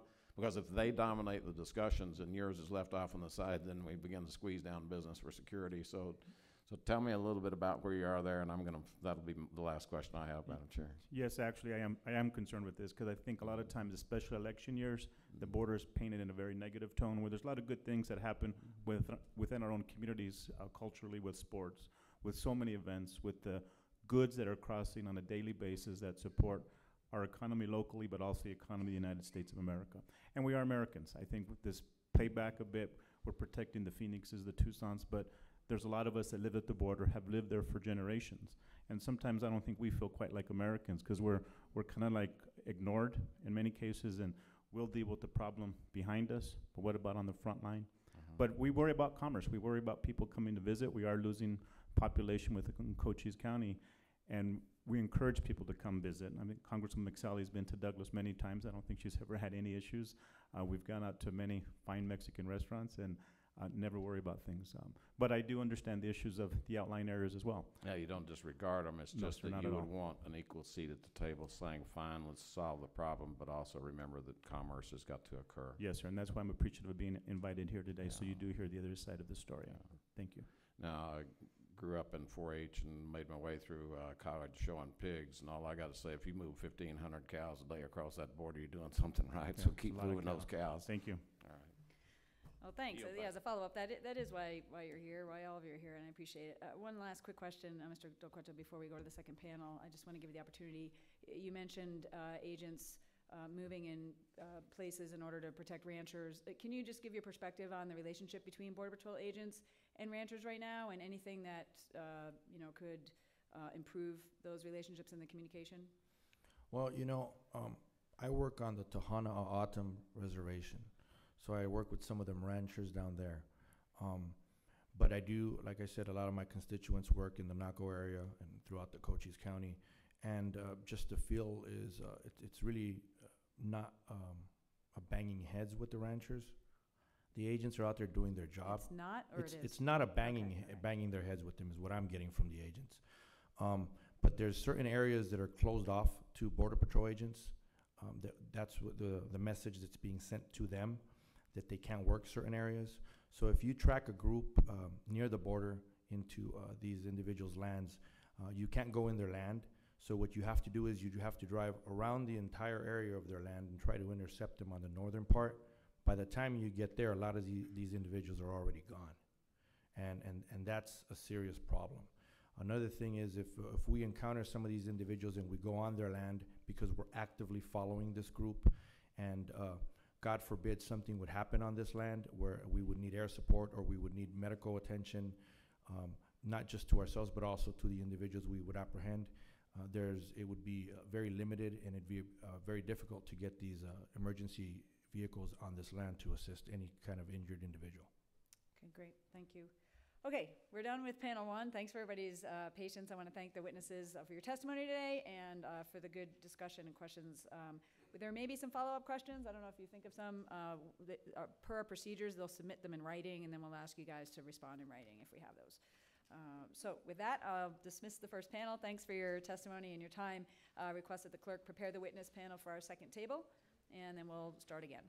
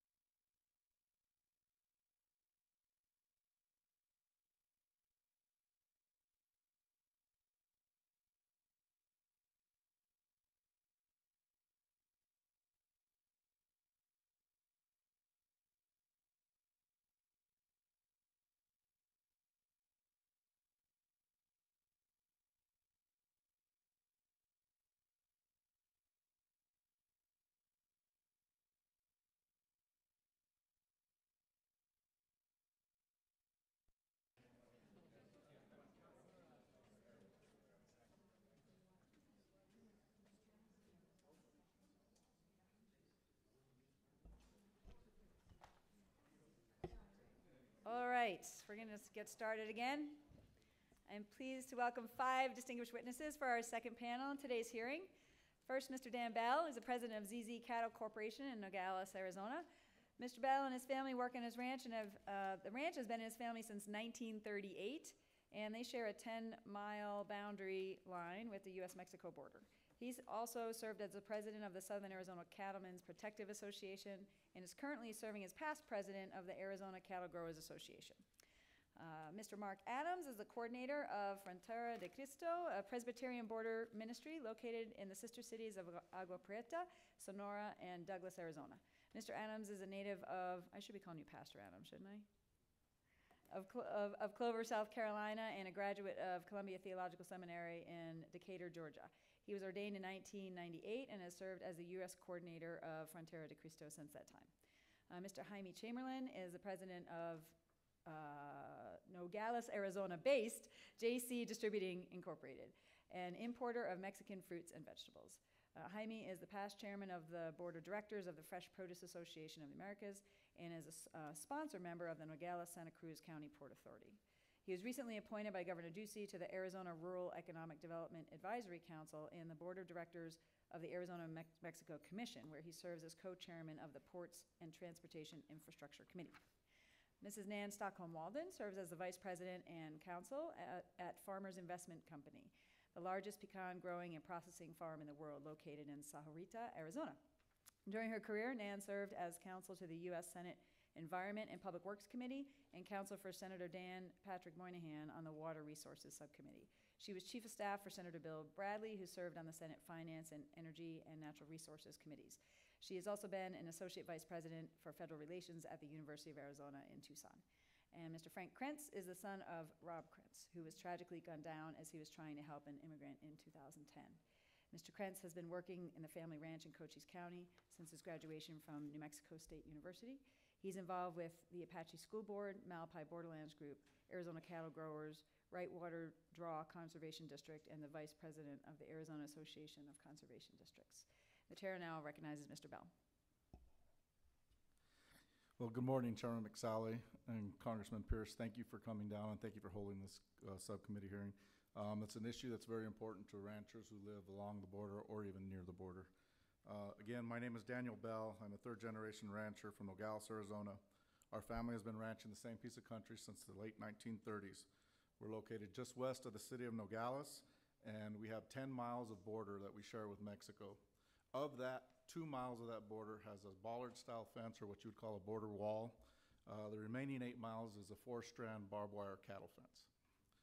Um, Our ranch is subject to the impacts of illegal immigration and drug smuggling on a daily basis. In the 1990s, border operations in California and Texas essentially forced illegal border uh, traffic into Arizona. Uh, As a result, Arizona border cities were fortified, forcing the illegal activity onto the adjacent ranches. Uh, And we began seeing the UDA groups increase from, you know, groups of one or two to groups of 50 or more at that time. Um, As a result, these increase, of these increases, the, the ranches were heavily impacted. Um, We had uh, damage being done to our fences, our watering facilities were damaged and drained uh, very often. Uh, Our vehicles are stolen, homes are broken into, and valuables are taken.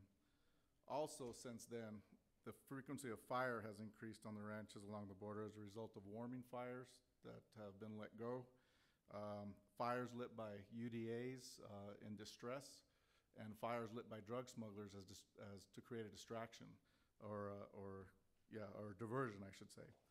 Um, we have had a house burned to the ground, and in 2011, approximately two thirds of our ranch was burned from 13 different fires um, that year.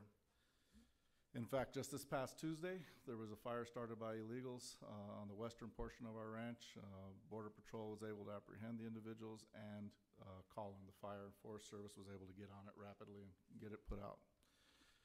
Violence in the border region was also uh, on an increase. In 1998, while apprehending drug smugglers, Border Patrol agent Alexander Kirpnich was murdered in one of our grazing pastures.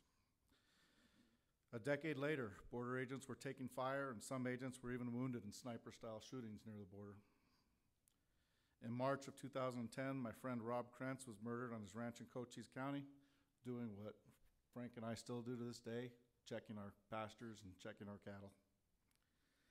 Um, One month later, the foreman of the ranch neighboring us in Mexico was found murdered and buried in a shallow grave, and he had been missing for over a month. Later that year, Border Patrol Agent Brian Terry was murdered on our neighbor's ranch just to the north of us, uh, while he, he and his BORTAC team were working to rid the area of violent rip crews that were targeting illegal aliens and drug smugglers. The facts I have uh, just stated were the breaking points that caused ranchers along the border to demand more border security resources and more boots on the ground. It's been my experience that improvement can happen with better access and by establishing roads along the international boundary with Mexico. Being able to get to the border is paramount if one expects to defend it. With better access, good border, a good border road system in place, next generation technologies like uh, remote video surveillance system towers uh, that are capable of detecting movement within their field of view, uh, as well as radar-equipped mobile surveillance-capable vehicles, uh, as well as uh, uh, integrated fixed towers could be put into place. Um, This technology can detect movement and focus in on that movement to maximize efficiency by verifying if a response is necessary, and if so, providing the critical situational awareness needed. Better access and roads along the border would place law enforcement efforts closer to the line of scrimmage and reduce the footprint of the illegal activity, which is a positive for the environment.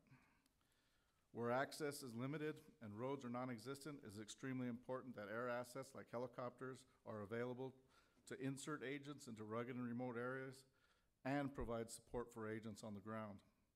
Fixed-wing aircraft and drones must also be readily available to detect and respond to illegal activity and direct law enforcement to intercept points and provide a much-needed situational awareness.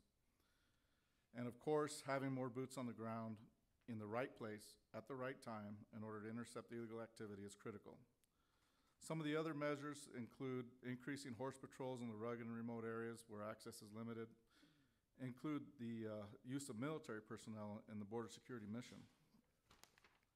Establish a better communications and technology, not only for law enforcement, but for the civilians that are out there as well. And establish more forward operating bases to cut travel and response times to incidents. Fund state and federal uh, attorneys' offices to assure timely prosecution of border-related offenses and ensure that the judicial resources are in place to provide consequences fo- uh, to offenders. We need to figure out a, a, a set of metrics that'll maintain resource levels even after we see improvement, because what tends to happen is as you get improvement, we tend to pull resources away, and then we, we're, we're stuck with the same problem. Uh, one of the things that's worked very well for us uh, in the Nogales area is the, the citizen advisory boards and the rancher liaison programs, and I also see that as a valuable metric because we can see what's happening and we can relay, relay that information to uh, law enforcement. Over time, I have witnessed improvement in certain areas, and it has coincided with the implementation of some of the measures that I mentioned to you today. It's only on a small portion of our ranch, but we need to keep working and keep bringing those, uh, those, uh, uh, measures into place. And I thank you for allowing me the time to come and address you today. Thank you. Thanks, Mr. Bell. Chair now recognizes Pastor Adams. Thank you, Chair McSally and Representative Pearce, uh, for the opportunity to be here. As I push the button, I see that I'm talking with a Shure microphone. Twenty-some years ago, my wife, Miriam Maldonado Escobar, migrated from Chiapas, Mexico, uh, after her family could no longer farm uh, on corn farms there because of the price of corn dropping, and come, came to the border to work for Shure. Uh, They had a factory uh, on the US US-Mexico border in Agua Prieta, Sonora, and so she's, uh, sure is part of the reason that, that I got the love of my life. Um, for me, um, I've been living on the border of the U.S. and Mexico for 18 years. For the first 18 years of my life, I lived on the border between uh, Clover, uh, South Carolina and North Carolina. Quite different borders. Um, but also, the border on between the U.S. and Mexico is also quite different now than it was 20 years ago, 25 years ago, 30 years ago. It's very different. It's changed dramatically. Um, what is the border for me? The border is home. The border is a place that I love. The border is a place where 12 million other folks uh, live uh, and I imagine love as well. So the border is home. And so as y'all undertake uh, the task of uh, making laws and, and trying to oversee the policies uh, that make our border secure, uh, I really want to encourage you to always remember that the border is home.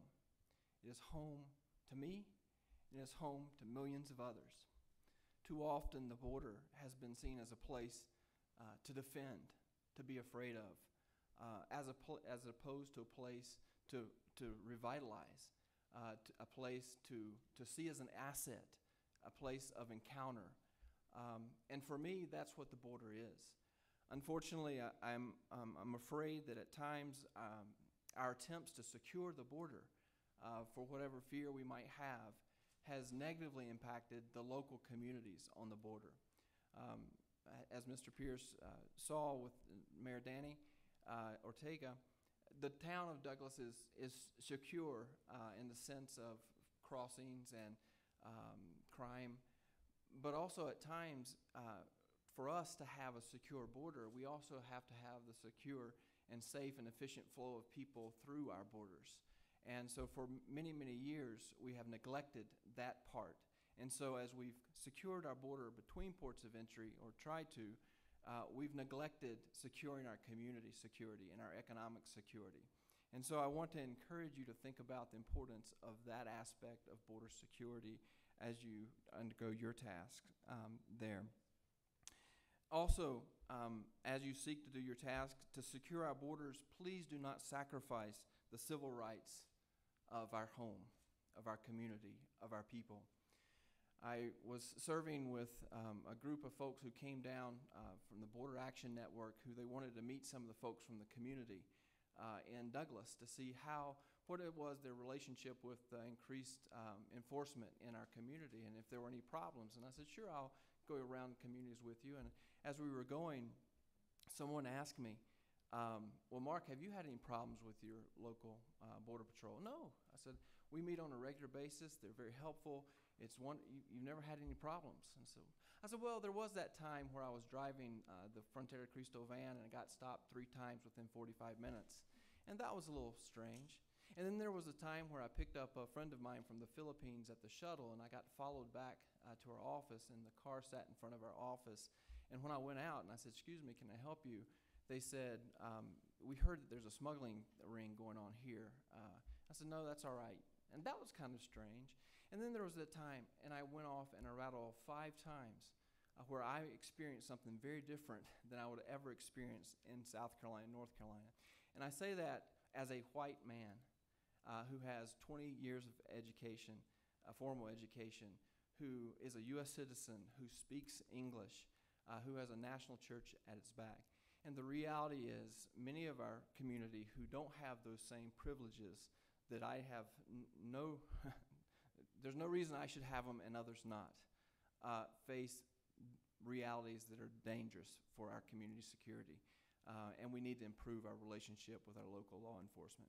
And finally, I want to say that we need to take death out of the immigration equation. Too many people have died in our deserts uh, because we've used uh, we've used deserts and mountains as lethal deterrents. They've been lethal but not deterrents, and that doesn't uphold who we are as a nation.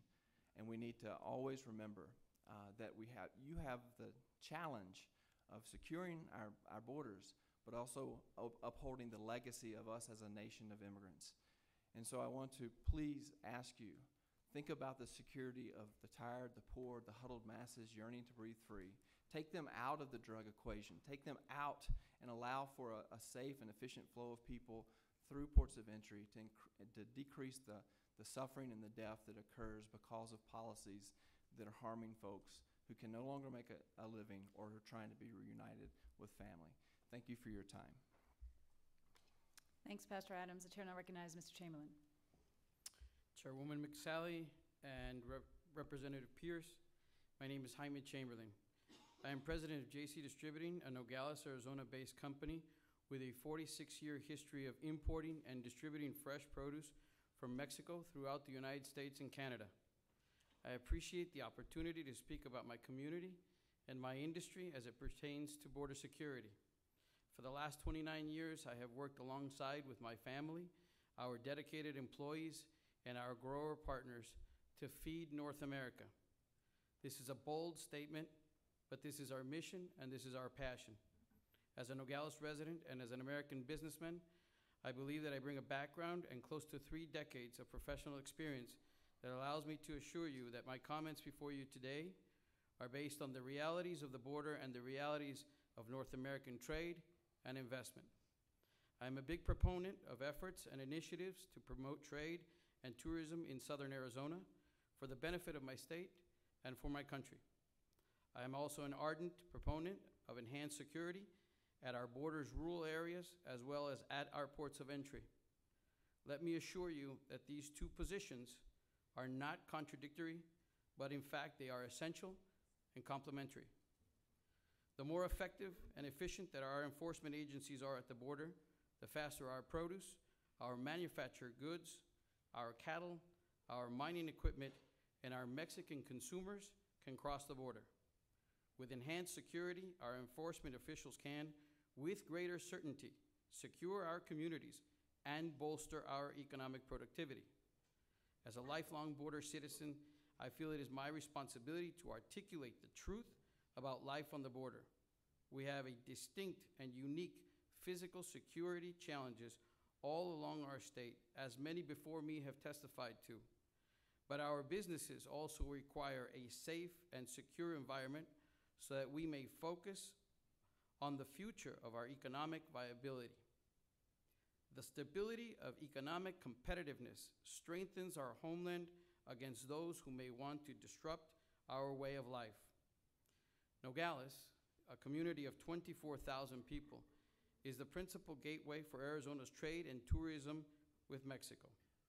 As reported by the federal government in 2015, Nogales processed 319,000 trucks, 3.5 million cars, 10.5 million people. But I want to make sure that everyone understands that these are only northbound crossing statistics. When we add our southbound crossings, our numbers are staggering considering our small population.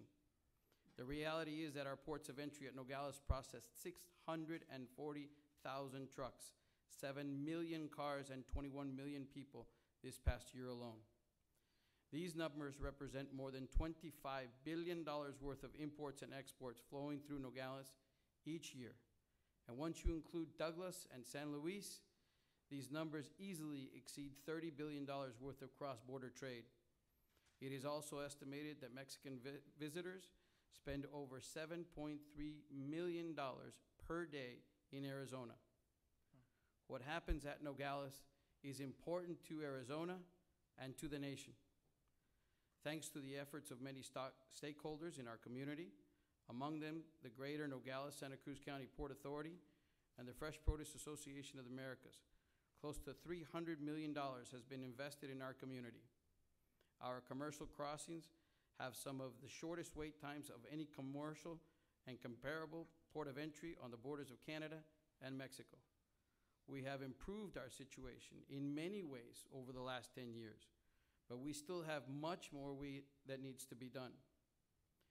These volumes can continue to grow, but only if we provide customs and border protection, the necessary staffing, the newest technology for our equipments, and the state-of-the-art facilities in which to do their job effectively and efficiently.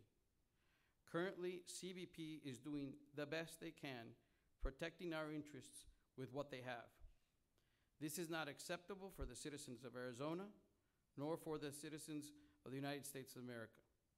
We can do better for those brave men and women in green and blue uniforms.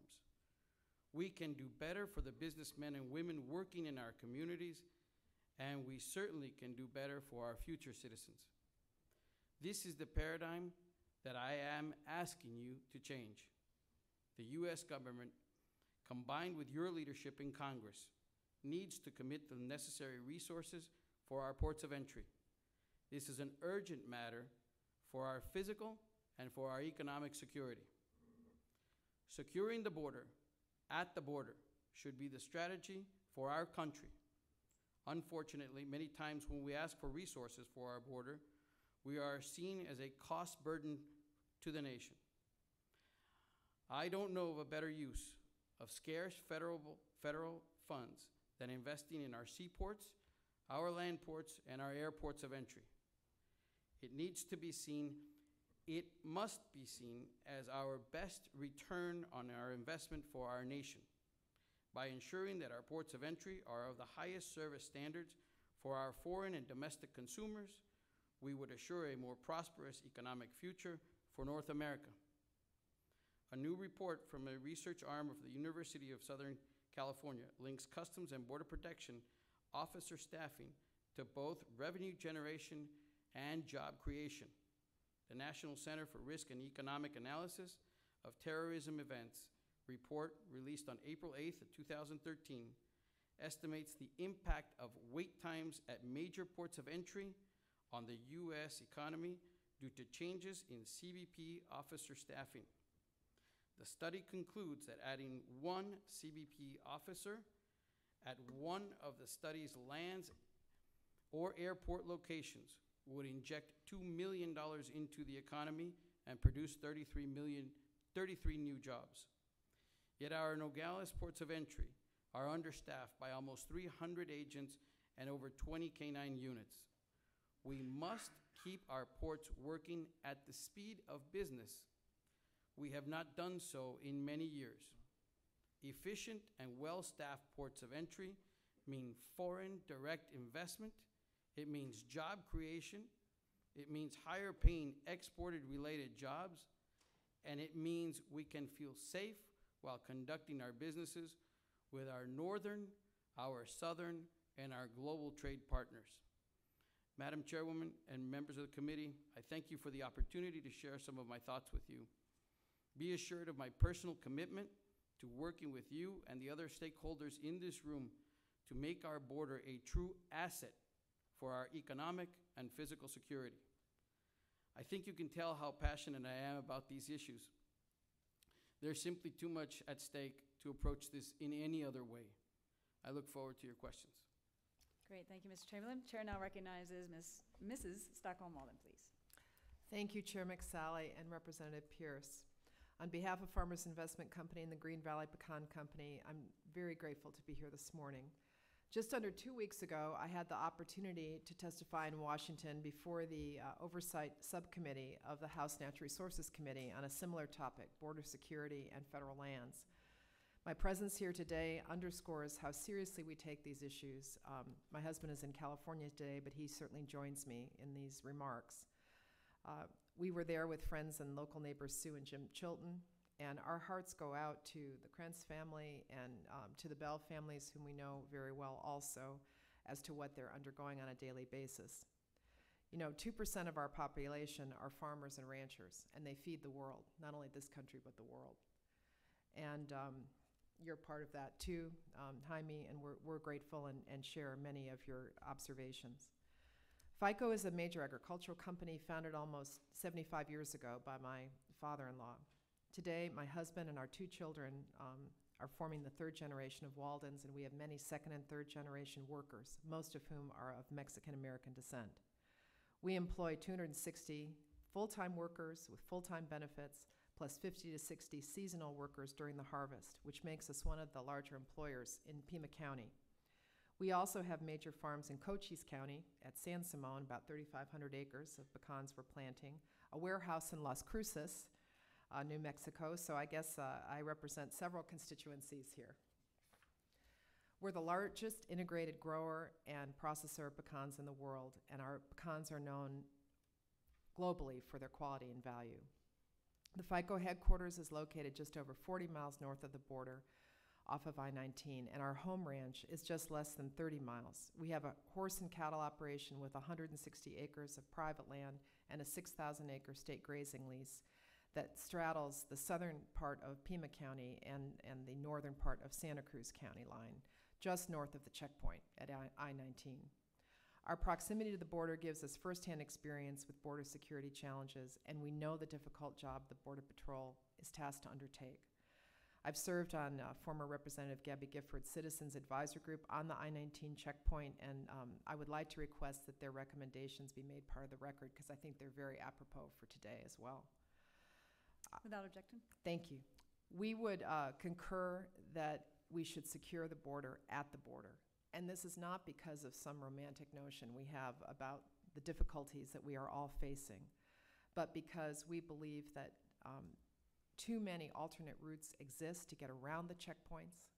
Um, you gave the football analogy. Another one of my friends who played football, Gary Brasher, says it's sort of like standing in the middle of the field if you're the defense and hoping the quarterback will run into your arms. We have a gas line, we have a dry riverbed, we have a, uh, different transmission lines and a railroad that are all excellent routes to go around the checkpoint. So what happens is these people are flushed into our neighborhoods and ranches and communities, and the Border Patrol itself admits that 94% of the apprehensions are not made at the checkpoint but around it. So it's a serious concern. Um, I believe, you know, you have a military background. My husband was a pilot in Vietnam, flew the OV-1 Mohawk. If for, you know, this is a fanciful example, but if Mexico declared war on America, the Marines would not hold the line in Tucson or Phoenix. They would defend the border at the border, at our sovereign border. They would go into Mexico if necessary to push them back. And that's the same approach that we feel that we need today. Um, we believe that comprehensive immigration reform is also essential for border security. This must be a multi-layered approach. We have to be smart about this. And I think Mayor Ortega um, and others that you heard on the first panel all mentioned this. Our visa system, our temporary worker system is broken. Agriculture, ranching, the hospitality industry, healthcare, construction, many of these ind industries depend upon a supply of entry-level and younger workers who will then be up upwardly mobile, just as our ancestors were. Um, we also need seasonal workers that benefits both of our countries. Um, I have personally experienced, and I put in my longer testimony, um, many, um, many episodes of high-speed chases by Border Patrol um, through, in one case, my front driveway, um, which I have detailed. You know, sharing some of these stories does not at all undermine the efforts of the Border Patrol. We're grateful for their service. And our ranch liaison, uh, Jake Stukenberg, is doing a wonderful job. And I've called him at 11 o'clock at night when we've had an incident on our ranch, and he's right there, and we really appreciate that. Um, however, following the recommendations that were part of the 9/11 report, we understand some of these have still not been implemented about communications, um, the ports of entry, um, and cracking down on employers, may I say, that hire people illegally. We were one of the first employers in Arizona to voluntarily use the E-Verify program, and we continue to do that with good results to this day. We don't appreciate other employers hiring people illegally because they undercut our wages and our benefits. We've had health benefits for our workers since the 50s, and um, you know they're um, they're competing unfairly. And we also drug test all of our employees, including our management, including Dick and myself, on a random basis to cut down on the demand, which is what the sheriff was talking about in Cochise County it has to be a multi-layered strategy. It can't just be one thing. The SCAAP funding is also very important. So um, again, I would be happy to uh, go into this more with some specific recommendations that we have made. Um, I also serve on the uh, National Immigration Forum Board, which is a nonpartisan uh, group of people interested in a humane and enforceable uh, immigration reform. And um, we we really appreciate your efforts to work together on a bipartisan basis. This, this is too important for any of us to play politics with. Thank you. Thank you, Ms. Walden. Chair now recognizes Mr. Krentz. Chairwoman Ms. Mix- McSally and Mr. Pearce, thank you for coming down here today. My name is Frank Krentz. I'm fifth generation rancher in Cochise County on the same piece of ground that my forefather started 109 years ago. Um, Almost six years ago, one morning, my cousin, my uncle, my father, and myself sat down for breakfast and talked about what we were going to do for the day. When we finished, my cousin and I went to move cows while my father went to check motor and my other uncle went to look at waters on the ranch.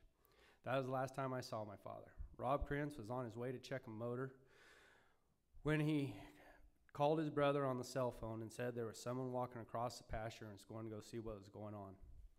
Friends and neighbors came to help us look for my father when we couldn't get a hold of him for hours. A neighbor called the sheriff's search and rescue team, and they started looking as well. The news came in late that night that they had found my father. Rob was a great and caring man, helpful to others, and dedicated to the way of life that he loved. He worked to help others, volunteering his time, and helped the local school and his community, family, and friends. To understand where I'm coming from, you need to know the people that, are li- that live in this area. Most of the people in this part of the world has had at least one incident that has involved problems with people trespassing across from the southern border illegally. When I was younger, we would see people crossing the border and knew that they were, co- they were running from problems worse than getting caught on the northern side. Knowing that the Arizona desert can be dangerous to cross, we would make sure that they would be Border Patrol on the way to help them. I can remember a time in 1999 I saw two different groups of people crossing the ranch that numbered larger than 100. We used to approach these people as Christians to make sure that there were no injury and tell them that Border Patrol would be here shortly to help them. We would always do this even though even after we have had our houses broken into, our vehicles stolen, trash left, the country, left in the country, and water lines broke. There have been many times when we would go and check storage tanks that we would spend a week's worth of time to make full, be drained because illegals would break water lines or floats to get a drink of water and draining thousands of gallons of water out on the ground. And we would still try our best to give these people help. After losing my father, all of that changed. Now we don't go near these people, knowing, not knowing what the situation holds. We don't put ourselves in a position that would get us into trouble. The people we see now are not the large groups fleeing, but the small groups packing drugs. There have been pictures taken of these small groups armed as well. I was told once by a U.S. congressman that the people along the border have become numb to the whole border issue. That they, we have gotten used to the idea that this is the new norm if they want to live here. I wouldn't say that we have become numb, but we have become resilient. That we want to live in this part of the world, that many of the families around have been here for many years and generations, and hope to have many more generations on this part of country that they have carved out for themselves. People who aren't from here get shocked when I tell them the problems we face on a daily basis. They ask, why don't you move away from there? It is hard for some people to know what a 100 years of working in one place can look like. I am fifth generation rancher and feel a sense of pride of what I'm doing raising livestock for our nation. Being out in the country and working in a business sector that is less than 2, 2% of the country is able to do. As our guests leave here today, I would like to take you with thank I would like you to take with you the gratitude from me and my friends and family for hearing what we have gone through. To go back and say that there is a problem that needs more attention. Before I close, and I have a little bit of I would like to be noted in the record some other issues that need to be held of. Ever since I was a little kid, one of my our family friends, Gary Thrasher, is the local vet in the area, and I'm sure you all have met him before. He has always voiced me that one of the major issues that sees in rural agriculture is um, disease that can be easily transported across the border. My great uncle in the 40s and 50s fought back tuberculosis and hoof and mouth out of the United States and fought it into Sonora, Mexico, into the, Chir- into the Chihuahua, Mexico, and fought it deep down south. And, and the Mexican government has been doing a good work of trying to regulate that disease and uh, the health of the animals to keep it away from our borders. Because once that does get into our nation's food supply, it can be very detrimental. It can eradicate whole herds and whole counties. It can be that fast spreading. Um, another issue that I would like you to be aware of is like Mr. Ortega saying about how the population has decreased over the last number of years. It has also affected the land values. I have had a neighboring rancher that has recently had to have his ranch appraised for um, business organization. And he says in the last 15 years, his ranch has lost half of its value just because of the location to the border. Um, when you go back, I would like you to heed that there are issues that are addressed and that securing the border is not just not allowing anybody in, but it's controlling what can come in and making it in a manageable factor. Because as a simple ranching analogy, if you run too many cows, you're going to run out of grass, and then you're not going to be able to run any. So I would like you to go back, um, and thank you for listening for us today. Thank you. Thank you, Mr. And I'd say from myself, Mr. Pearce, I mean, our, our hearts with, continue to be with your family. You, you know personally, um, the price that you paid every day with the loss of your dad, um, from an unsecured border, and I really appreciate you coming and sharing your perspectives today. Um, I want to thank the, the diversity and the perspectives of the whole panel. I want to start with a similar question I asked the first panel, uh, which, which is, well, part of it is, what trends have you seen? And we've heard some of this from you, the trends that we've seen over the last decades, uh, shifting really from poten- you know, potentially more people coming to find work versus hardened cartels that are now controlling traffic that have become far more dangerous. But, you know, what do you want Washington DC and others, what do you want in the record, besides what you just said, the trends that have, that have changed over the years? Uh, what do you need them to hear from you and your perspectives of what's going on in our communities? And if the president were standing before you today and you're the new Secretary of Homeland Security and you are in charge of now securing the border, it's your strategy, it's your ideas, your resource unconstrained. From each of your perspectives, what would that look like? What would you do in order to address these issues that you've all very eloquently brought to our attention today? Starting, Mr. Bell. Well, I think I would, I would start with what my main point was, was actually getting access to the border. And, and the previous panel, we talked about the wilderness areas and, and things of that nature, uh, that prevent access, uh, uh, and, and prevent, uh, sometimes the ability to, to patrol the border. Uh, if there's an actual pursuit going on, there's, there's MOUs in place. But a lot of our ranch is on federal land, and there's a big process that needs to be go, gone through to, to get roads put in. We just had a two mile stretch of road put in along the border, as close to the border as you could get it, because the terrain is very, very difficult. And so they, they were able to, to, to get it as close to the border as, as possible. Uh, but that process took more than a decade to get done. And, and most of it because of the required permitting and everything else to, to, to get it okayed to get done. It took about four years to construct, and they're just finishing it up right now, and it's two miles. So, but it's made a difference. The technology has made a difference. Um, but it's only in a limited space, like I told you. We need to keep that progress and keep it going. And so, for me, it's, it's, it's getting the access, getting to the place where we can defend, and, uh, and then having the resources to back it up because there is no silver bullet. It's not just that one thing. We need everything. We need boots on the ground. We need consequences.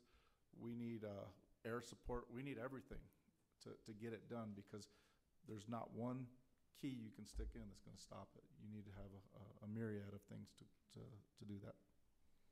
Thanks. Pastor Adams. Thank you.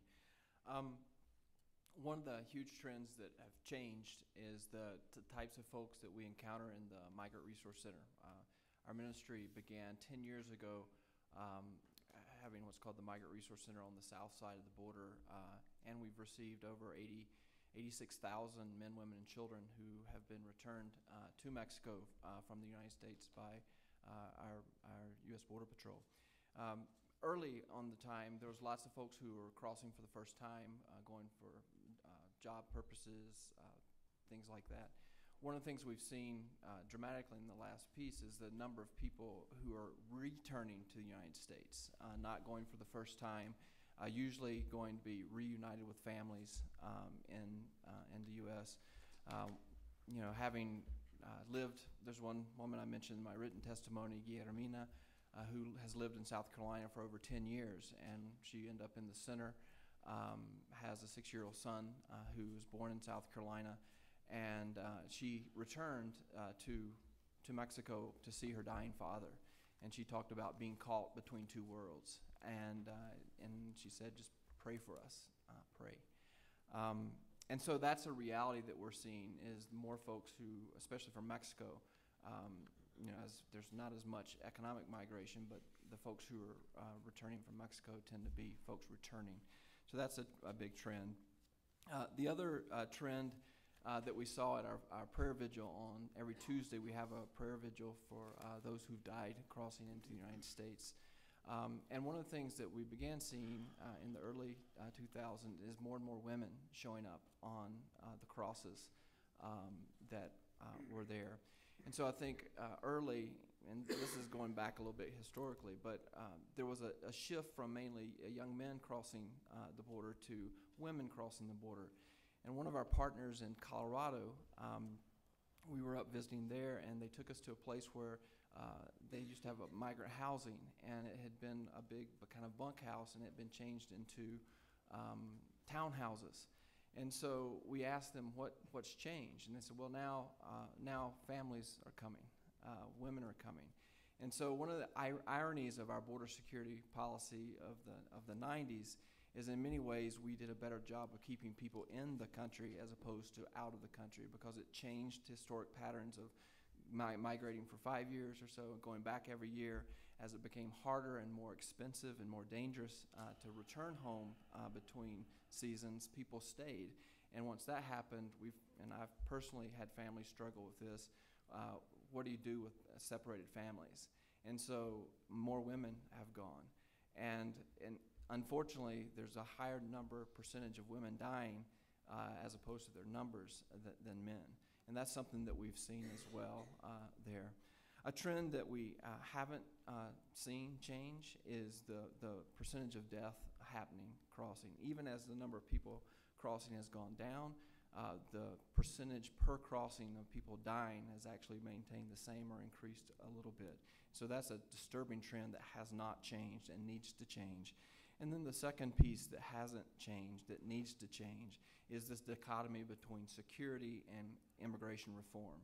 Uh, I think that's a very false dichotomy, uh, and, it, and it's a very dangerous dichotomy uh, because we've been hearing it for 20 years. Um, and it, it seems like a simple thing to me, and maybe it's not. Um, but it seems like if we take folks who are coming for economic reasons or for family reasons, uh, like many of our ancestors had come in the past, and look at the economic realities on both sides of our borders, and we provide for uh, safe and efficient ways for folks to come through ports of entry, then it'd be a lot easier for our law enforcement to be able to detect folks who are coming with ill intent. And so I think we need to change that trend, and you can be one of the persons to change that trend uh, to say that's a false dichotomy and it needs to change. Because if it doesn't change, we're not going to have a secure border, uh, and we're going to increase in, to continue to increase the number of people who have died trying to reach the American dream. Charles. Chairwoman McSally, I, if I had an unlimited amount of resources, there's a ton of things I would do, and if I had the president in front of me, I'd say a whole lot of things. Um, one of the things that's uh, most important to us, and, and what I testified to, was toward the, the efficient uh, and expedient uh, flow of commerce between the ports of entry. And that's extremely important for us uh, in Nogales, Arizona. One of the things that's bothersome is that within the Department of Homeland Security structure, you have Border Patrol, which is funded by uh, direct appropriations, and you have Customs that is partially uh, funded by user fees and, dire- and direct uh, appropriation. I, I think that that is a, uh, an issue that needs to be addressed. It shouldn't be an either-or issue. I think commerce is just as important as what happens in the rural areas of the United States. Um, I have a tremendous amount of respect for the ranchers and for the rural areas of Arizona. I have a great relationship with Dan Bell. We happen to be neighbors uh, and growing up as kids. Uh, I and I understand their issues, and even uh, the agent Del Cueto said that the agencies did not grow in the same way uh, in the last 10 years, 10 to 15 years. Uh, I think that we, as we strengthened uh, between our ports of entry on our rural areas where we grew Border Patrol, I think we had a tough time in growing customs, and therefore many more uh, ports of entry became porous. Um, as you can see from the terrorists from 9 11, they all came through a, a port of entry, whether it was a seaport, a land port, or an airport. They didn't come through the, through the desert. That doesn't mean that it can't happen in the future. But our ports of entry, I believe, are just as important, and they are just as dangerous. You have the port of Nogales that catches as much drugs as any five ports on the, on the southern port of Texas. So that is extremely dangerous, and it is only escalating. It's also dangerous to have an understaffed port of entry. Uh, you have agents on the border that are working 16 hour shifts, and they have very, very little time to determine what is in front of them. When they have a car that comes in front of them or a pedestrian that crosses right in front of them, they have very little time to uh, examine them and figure out exactly if they are coming for uh, legitimate trade and legitimate purposes or for illegal purposes. So I, I think that that's one of the things that I would ask you all to change. When I ask you to change the paradigm, that's one of them. Um, it- Mr. Del Cueto also says that uh, the way and the metrics of which um, the statistics are given um, are probably not true. I tend to believe him. Uh, I think that we should be able to have a much better metrics, but that also applies to our ports of entry. It is not only at our rural areas where we have figures and statistics that are not correct, but it also is at our ports of entry. When we say, when are in Washington, that our ports of entry are secure, that is not correct. If we are getting the amount of drugs and illegal contraband, whether it's uh, counterfeit money or counterfeit Levi's or counterfeit shoes or whatever it may be, or even southbound with uh, illegal proceeds or weapons and bullets that are found in our southbound inspections, then we have just as much of a danger there than we do in the rural areas. But let me be clear this is not an either or thing. I believe the federal government can do both things at the same time. Securing Danny Bell's ranch and securing Jaime Chamberlain's port of entry are extremely important, but they are not just our situations. They are all our country situations, and they are definitely an issue for the state of Arizona. We tend to be looked over when this strategy comes into place. I really, really thank you all for allowing us to testify in front of you, to have a voice in Washington, D.C., so that you can convey what we feel every single day. This is something that has been lacking for the state of Arizona for many, many years. Finally, we have a seat at the table. Hopefully, we're going to be heard. Thank you. Thank you, Mr. Chamberlain. And before we go on to Ms. Walden, I just want to reiterate uh, the importance of many of the issues that, that, that you raised uh, at our ports of entry. Uh, we, again, we were focusing on the, the rural areas and between the ports, but we can't, we have to chew gum and walk at the same time. We have to be able to do both of these. These are vitally important for those that are in the audience, uh, didn't tune into our last hearing. This is something that is impacting us from a security and an economic point of view uh, in Arizona and across the country. Uh, I'm proud to say my first bill passed into law is the Border Jobs for Veterans Act, which is, which is intended to address some of these uh, shortage issues. It takes 18 months for someone to be hired for one of these critical positions at our ports of entry. 18 months. You said we should be moving at the speed of business. Uh, it's moving at the speed of bureaucracy. And nobody can wait for 18 months to get a job. And while we need to vet them, this is just unsatisfactory, and we're going to continue to hammer and do what we can in order to speed up this timeline uh, for those that are veterans and others that are looking for these jobs that are critical. This next week in Congress, we're going to be voting on a number of bills related to the opioid uh, tragedy that's happening across our country. We have, we have a, uh, an epidemic of those that are addicted and dying from opioid abuse. This is like we have not seen in my lifetime, these last few years. And the price of drugs, the price of opiates is still cheap. So we have a long way to go to be able to address this issue. And it's literally causing deaths of sons and daughters in our community. And we've got to address this in a very holistic approach as well. So I just want to comment on that and uh, hand it to Mrs. Walden. Thank you. As you can see, there's more that we agree on than we disagree on. And sometimes we find it very hard to understand why our representatives in Washington can't sit down and reason together on such vital issues. I'd like to echo um, really what everyone has said so far. Um, you know, we're confusing Juan or Juanita, as the pastor pointed out, who just wants to come here and work, maybe seasonally or maybe earn a legal path to citizenship, with Juan, the drug smuggler. And, and that's the big problem. And Border Patrol, speaking off the record, when we talk to them on our ranches and farms, they will say, you know, right now I'm looking for a needle in a haystack. My haystack is too big. I, I've got all these people lumped into the same category.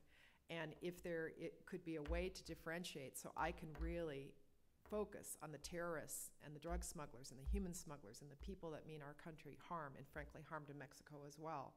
That would make my job so much easier, which is why, again, I, I agree so much with what Jaime Chamberlain just said about the need to do immigration reform hand in hand. If we had um, an ID card with a biometric marker, if we had a reasonable path to citizenship or at least a temporary worker permit so they could work here while they're trying to become citizens if they are eligible, it would cut out the underground economy. It, they would pay taxes. They would we would pay into Social Security. Uh, we would uh, eliminate the employers that are abusing them. We would eliminate people being afraid to report criminal activity or domestic violence. Um, there's so many. We, we would eliminate all these hardships on these families who might have, you know, some members are legal, the children might be legal, but maybe the grandfather or one of the parents is not legal. It, it is just tearing this country apart. And let's remember for a minute, you know, this was Mexico where we are sitting up until recent times. And we still have families that live and work on both sides of the line, that own ranches and farms on both sides of the line. Uh, we source pecans from Mexico. I mean, our, our countries and our cultures are so integrated here. And this is true of the Native American people, too, by the way, who live on both sides of, of what's currently the border. So uh, we also, I think, need to, to realize that the Border Patrol and this new organization under Homeland Security is relatively new. It doesn't have the checks and balances of our military. Frankly, I don't believe it has the strategic capabilities of our military in many ways. Um, you know, the training, um, the lack of metrics. I think both GAO, the University of Arizona Udall Center, and some other studies that have been done show that um, the, the Border Patrol isn't keeping statistics, you know, correctly and accurately the way that we do, we do in the armed forces, for example. And I think this is very important. So I think anything that can be done organizationally, anything that can be done to increase um, the training of a lot of these young agents, um, frankly, it's not just more boots on the ground, but it's the training and the coordination and their work with local law enforcement that's really what is going to make them successful um, in their in their uh, missions in the field. Uh, and then, you know, from all standpoints, one of the, the groups that I serve on the board of the National Immigration Forum has formed the Bibles, Badges, and Business Coalition. And these are people from uh, the faith community, from law enforcement, and from the business community. We all agree on, on the problems here, and at least on some of the solutions. So um, again, we are grateful for you being here today and gathering the information firsthand, and and certainly, you know, also your efforts on the drug treatment. We have to have on-demand treatment. We have to recognize that this drug pandemic is like a war. It's wiping out a generation of Americans. It's leaving others impaired forever. They're going to be a huge burden to our society. And it's a huge loss of the best and the brightest that are going to be our future leaders. So uh, we commend you on your work on that as well. Thank you, Mrs. Walden. Mr. Krentz? Being the last one on the panel, I could say I concur and I'd be fine, but, um, We'll start with you on the next one. right. Next. Um, you build a twelve-foot wall, somebody's gonna build a thirteen-foot ladder. You build a fifty-foot wide wall, somebody's gonna dig a half-mile tunnel. I don't think a wall is the end-all answer. You know, half the border isn't secured with a wall because of terrain. It's just that difficult to put in. Um, there are current laws and regulations on the books that are very valid and very feasible. You know, the people that are on the ground, the Border Patrol, the sheriff's departments. Um, the sheriff department is a lot more agile on accessing their laws so that they can prosecute uh, perpetrators than the Border Patrol has. Um, if there was a better way for the Border Patrol to be able to do what they're able to do and capable of, but not able to do, that would solve a lot of the situation. Um, an easier way for people to get a, a direct visa. Uh, if somebody that wants to come in this country, my grandfather, uh, prior to the Bracero program, worked people and help them into citizenship. And if you want to find somebody that is more aggravated of illegal immigration, go talk to those gentlemen that are now productive members of society in America and are proud to be here that work through the proper system. They are very aggravated of people that are taking advantage of the system. If there was an easier way for them, for the people that want to be in here, to be in here, that would make our illegal crossing and the deaths across the arid Arizona and New Mexico regions a lot less of an issue.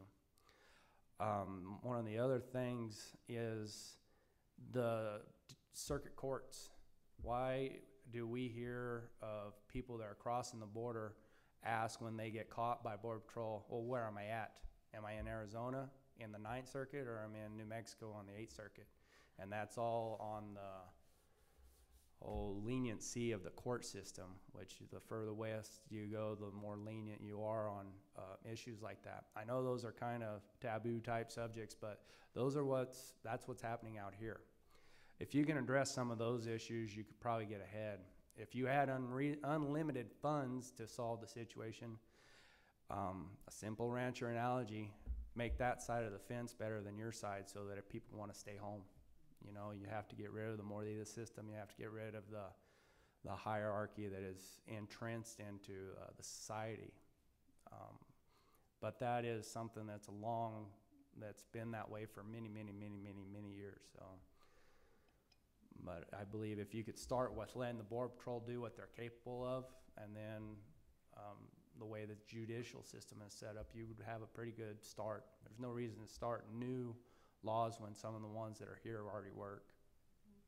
Thank Great, you. thank you, Mr. Krentz. Um, Before I hand it over to to Mr. Pearce, uh, I- I'm always trying to look for where we can find agreement, and so I just want to rephrase what I think I heard, although there's some different perspectives uh, from the whole panel. This is not intended to be about immigration reform as its main uh, focus, but I think everyone on the panel, uh, there may be great disagreement on what to do with those that are here illegally, and we could debate that, you know, for the rest of the day or week. Uh, But I think everybody here agrees that we need a legal immigration system that actually allows for people to come over and spend money for the day, come shop at our malls, and come through the ports of entry in a way that they are vetted and able to either shop or work temporarily in positions that are going to grow our economy. We can't accept everybody. Uh, we, we, we, we can't, but there's got to be a better system right now. It's cumbersome, it takes too long, it's confusing, it's based on random country quotas uh, that allow people to come through the turnstile that are going to actually help our economy, not hurt our economy. And so there needs to be a revamping and a modernizing of the legal immigration system. Is that a fair statement that people, uh, on, everyone on the panel agrees to? Just want to hear yeses out of everybody. Mr. Bell? Yes. Mr. Durant, Pastor Adams? Yes? Yes. Okay. Yes. Jaime, Yes? Yes. Okay, great. We found another area that generally, again, how that happens, there's a lot of devils in the details. Um, but, uh, you know, addressing that particular issue so that we can focus on the transnational criminal organizations. Uh, and, uh, again, still, there's, there's some challenges moving forward with all of this, but I just wanted to find those areas of agreement. And I'll hand it over to Mr. Pearce.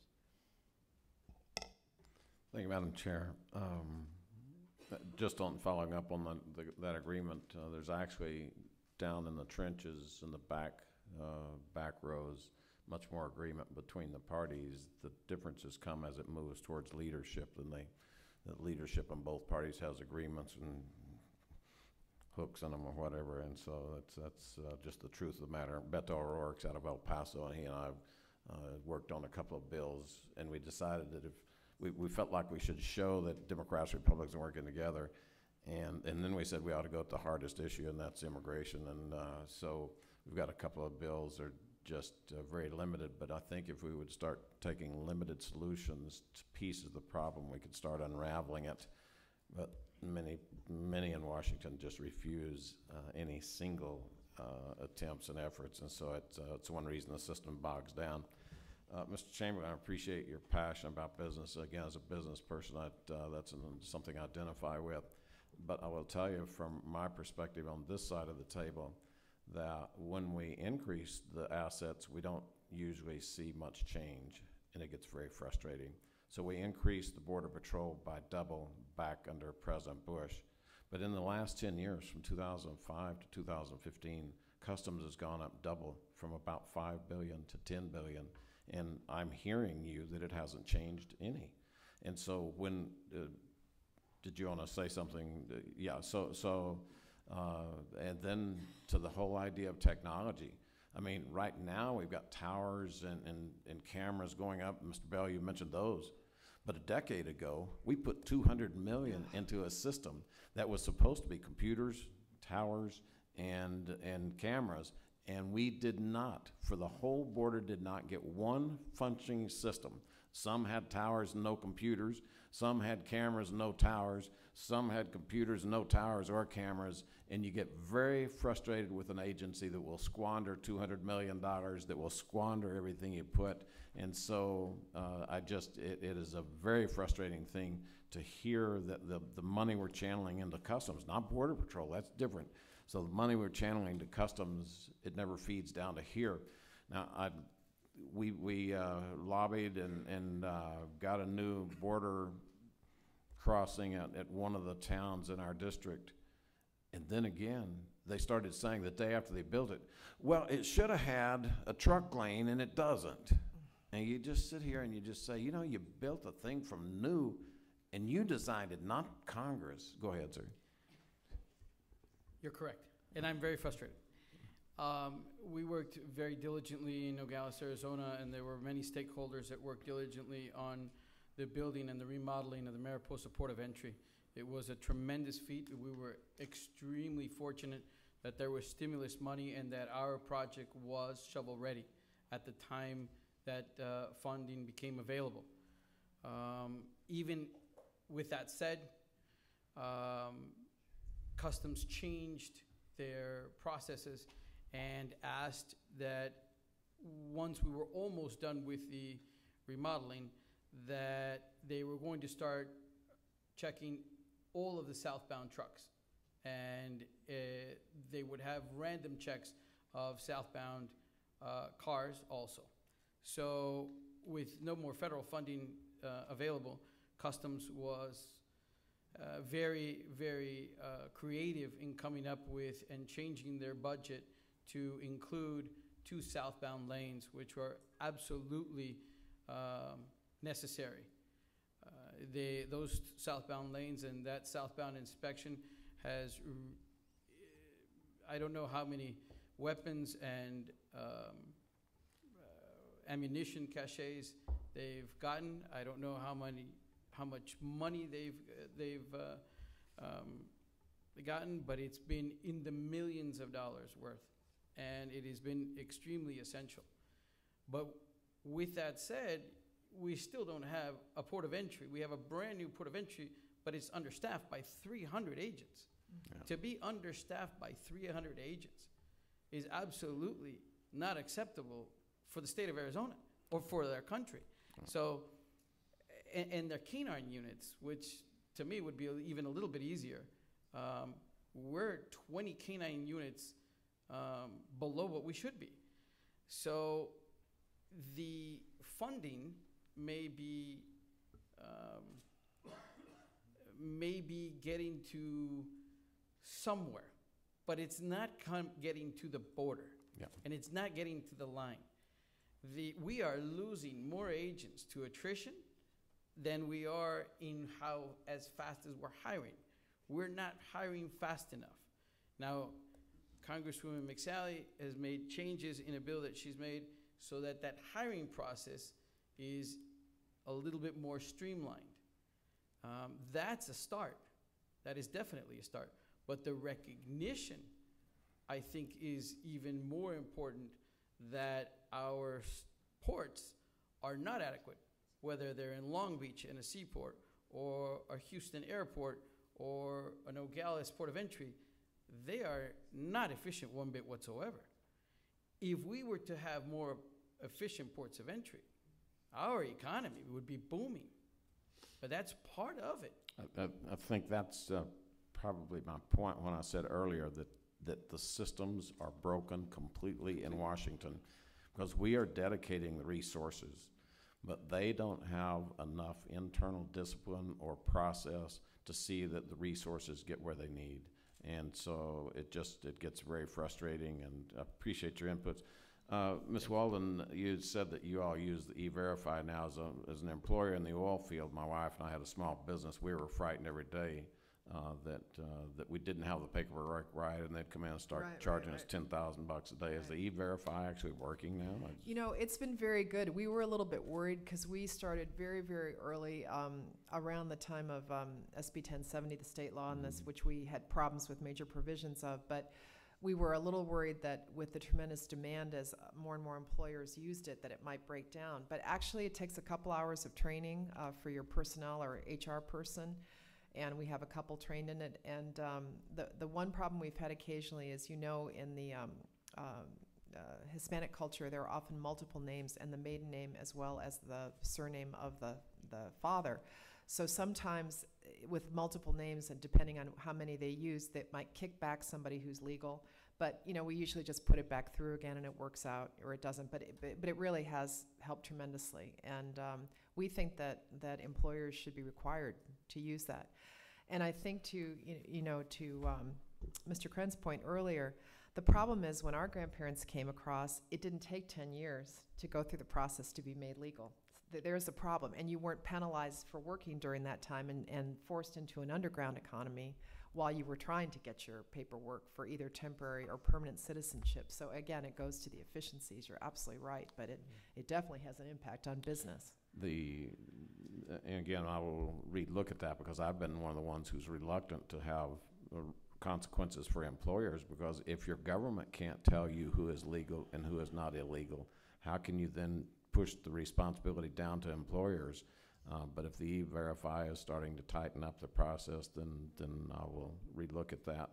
Uh, Mr. Adams, the, I appreciate your heart for the human situation. Um, I was left with a question as you testified.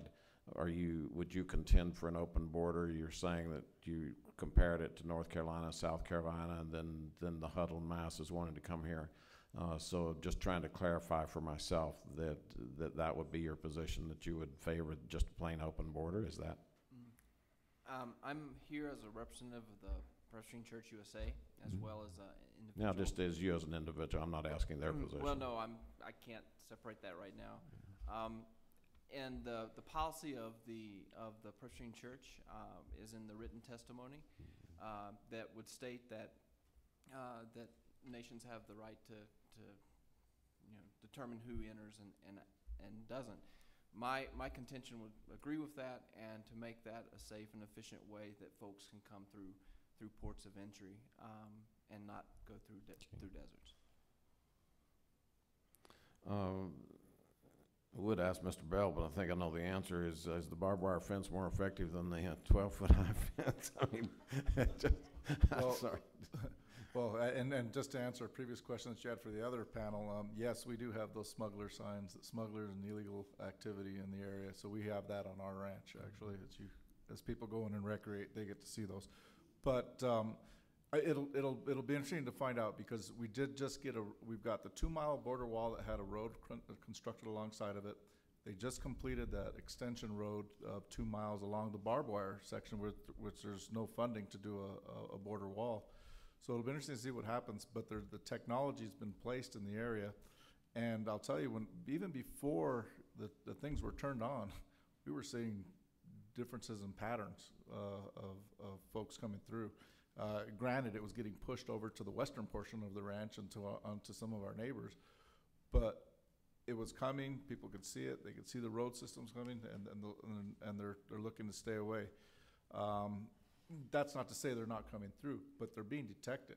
And so we've had a couple of drug seizures, uh, in, in vehicles, uh, due to the, the, the cameras picking, picking things up. Uh, some, uh, people that are, that are crossing illegally are getting picked up along the way.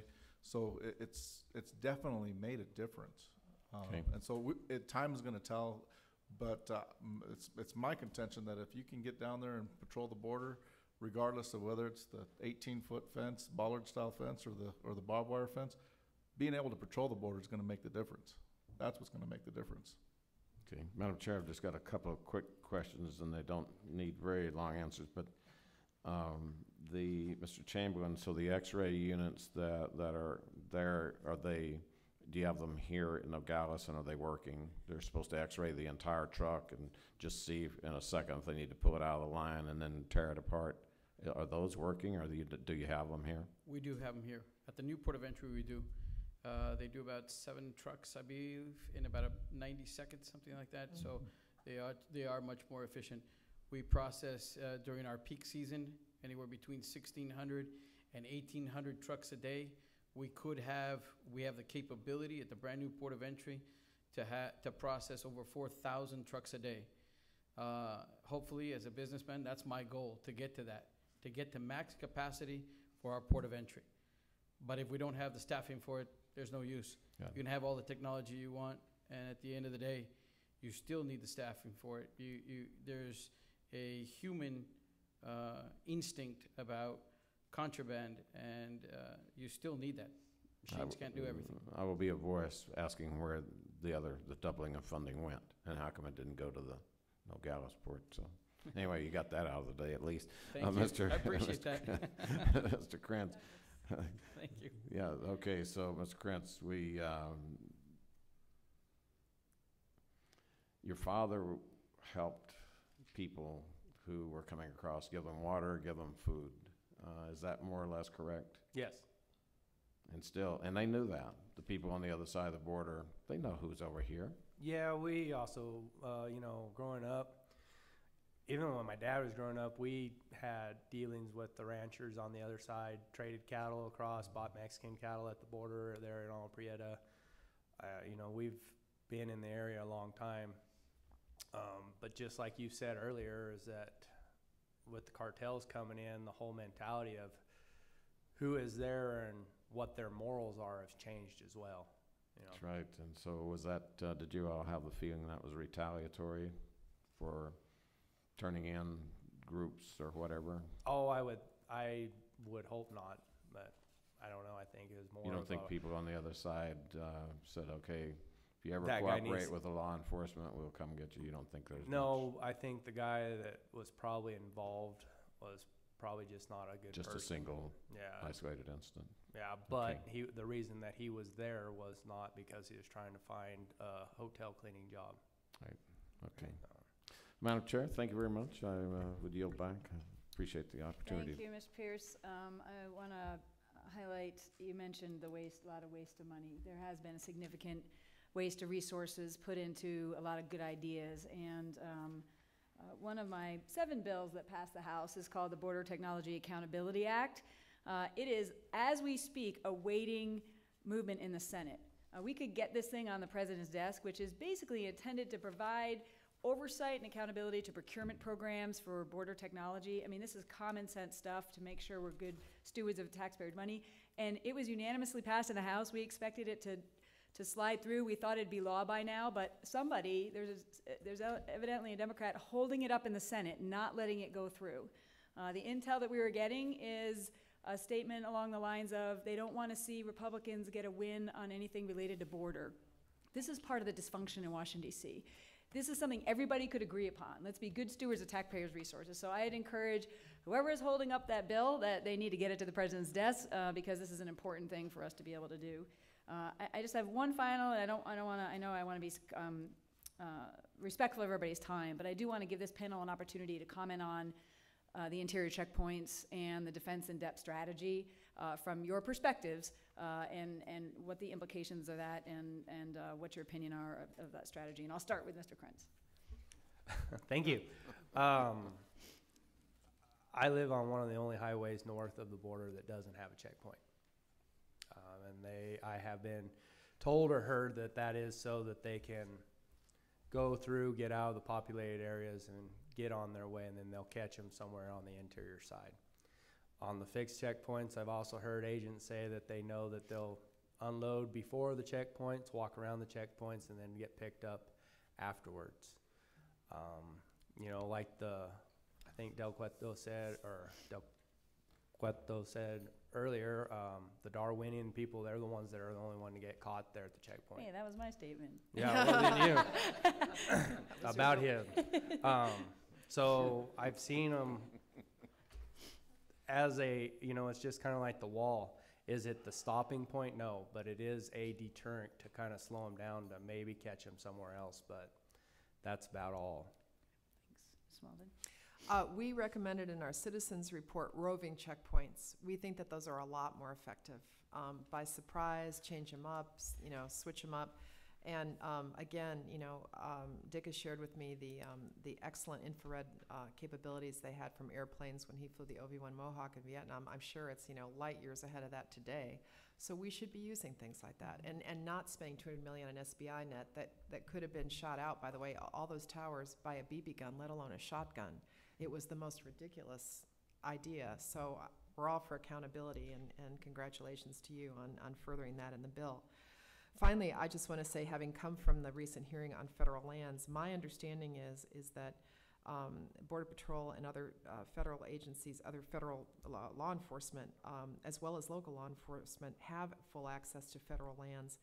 Uh, whether they're in hot pursuit or not, if they have any suspicion of criminal activity. And you know, a lot of our friends who are ranchers in the Malpai group, like like uh, Warner and Wendy Glenn, um, late Wendy Glenn, were concerned about more roads in wilderness areas, not just for the aesthetics, but because they would be used by the traffickers. So I think, you know, I'm going to leave that to the people that have ranches along the border. I think there are areas where it is appropriate, but like Dan said, the terrain is so complex. I mean, this is not an easy fix. So just be aware of that, that you have to get a lot of local input as to whether you're making the problem better or worse. Mhm. Great, thank you. The depth strategy uh, for us in the um, produce industry is a little bit cumbersome. Uh, The the Tubac checkpoint there, as you come south to north, you can see where the trucks have really, really done a tremendous job on the, on the, on the highway there. You have the ruts in the road that are absolutely terrible. Someone's got to be able to pay for that. I don't know if that's going to be a federal issue or that's going to be a state issue, but uh, regardless, someone should have, should have thought of that before they did the, the, the checkpoint at that point. The, also the land values, and I completely understand, and the businessmen that have suffered in their, in, with the reduction of their business values and their land, va- and their home values. That's difficult for us, but not only, you have to understand that for us, this is a tremendous freight corridor, an extremely important freight corridor for our country to move goods and services, whether it's the maquiladora business or the cattle business or the mining business or the produce industry. We are moving a tremendous amount of commerce through this highway here, from Nogales to, to where we get to our major arteries in the Tucson and the Phoenix areas. So I think it is extremely important to patrol these areas just as much as we do in, in the rural parts of the, uh, of the state, but in an effective way. I don't see the checkpoints being that effective. Um, they are cumbersome. We have uh, businesses from all over the United States and chain stores and food service companies coming to pick up our product from all over the United States, and they don't get this at other states around the country. They don't have to go through these checkpoints at other states. In California, you do. In Texas, you do. In Arizona and in New Mexico, you do. I don't see that happening on the northern border. You have occasional checkpoints on the northern border, but they're nowhere as cumbersome to business and to tourism in the way that they are here. Great, So- thank you. Thank you. Pastor Adams? Um, the, the policy from our, our church says border protection policies, we, we advocate for border protection policies that are consistent with humanitarian values and with the need to treat all individuals with respect while allowing the authorities to carry out the critical task of identifying and preventing entry of terrorists and dangerous criminals, as well as pursuing the legitimate task of implementing American immigration policy. Um, the, for me, the checkpoints have been a very effective tool for me to realize that not everyone is treated with the same respect as I am going through uh, checkpoints. Think racial profiling. Um, growing up in South Carolina, it was easy for me to not think about that, believe it or not. Um, but now with a family who have folks who are um, both complected, like have the same complexion I do, as as well as folks who are darker complexion. Um, when we go through that checkpoint, but uh, outside of Tombstone, we make sure I'm driving and not my wife, uh, Miriam. And um, we were going through that checkpoint one time with my sister-in-law, uh, who was in the back, and we just got waved right through. Uh, and my sister-in-law uh, just said, "Hey, that's white privilege." And so, um, checkpoints. There are lots of problems that you've heard uh, about here, but one of the things about checkpoints is it, it highlights that we have a long way to go in this country regarding race and treating everyone with respect. Thanks, Pastor Adams. Mr. Bell? Well, I'd like to kind of start out with your defense in depth uh, issue there, and and the problem is, is uh, in, in areas like uh, my ranch and and some of the stuff in the Malapai borderlands area, um, there is no access to the border, and it's something that I've been talking about quite a bit today, and so that's the only option that's out there, unless you get people humping in or horse patrols going in or, or helicoptering people in those are basically the only options you have. So, so that's why it's important to be able to get that access and, and, and get down there. Um, the technology um, piece is, is, is important in that, whereas before we had seismic sensors set out, well, they still do, but a sensor hit would come off. An agent would have no idea what that sensor hit was. Was it one of my cows? Was it a big mule deer? Uh, he's got to maybe hump in two two hours of his day to go figure out what that sensor hit was. Yeah. Technology is going to help in, in, in some of these areas to identify what that sensor hit was. Focus in on that area where those sensor hits are happening. See what you can pick up. If it's a legitimate uh, uh, reason for an agent to go in, to maybe go in and, and, and apprehend a smuggler or, or, or a group, then they're gonna they're gonna know that's what it is instead of instead of uh, wasting time on something that isn't. And so I think that's gonna free up resources. But again, that all comes with kind of deploying down closer to the area. So the, the defense and depth strategy, I'd like to see that go away, but in a lot of instances, that's the only thing that's available because some of the roads are backed off three, four, five, six, seven miles away from the border. And so uh, that's what our focus needs to be. As far as the checkpoint, um, you know, it's it's one of those deals where where it's uh, it's at what they call that choke point, and uh, and so they can get the traffic coming off the, the interstate. But they've also got the mountain ranges on the flanks that's kind of choking things in, and so they've got a lot of technology between you know on either side of that checkpoint, and, and so they do make a lot of apprehensions and, and, and things in that area. So for now, uh, I think it's a uh, it's a necessity, but let's focus. Let's, let's keep our focus on, on, on getting down to the border, to the line of scrimmage, as you say. I agree with you, and uh, and then uh, see where we are uh, with that checkpoint at, at a later date. Great, thank you.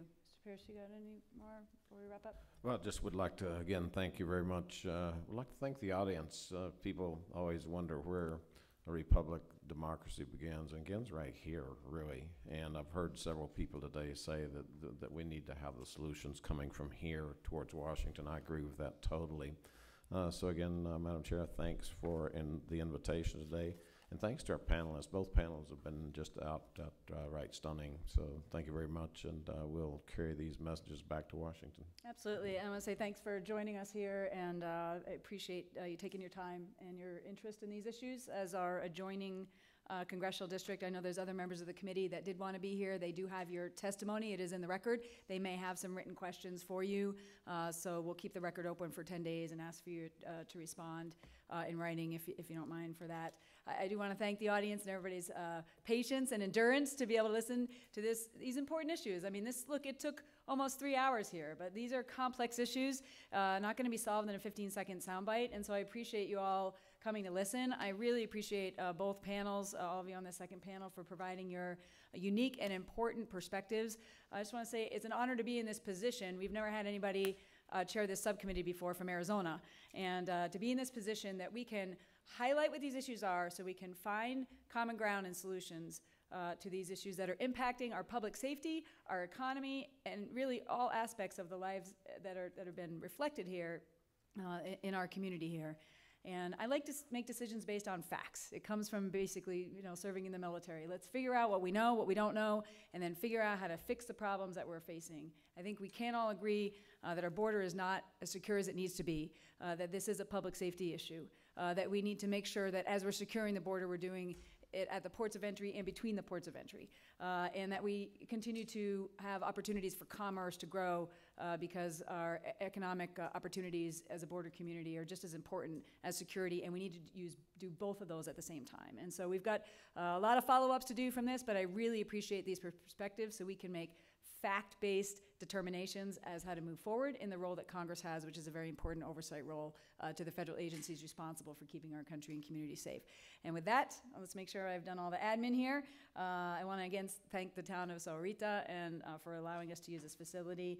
And pursuant to Committee Rule 7C, the hearing record will be, or E, sorry, my contacts aren't working very well. 7E, the hearing record will be held open for 10 days, and without objection, the committee now stands adjourned.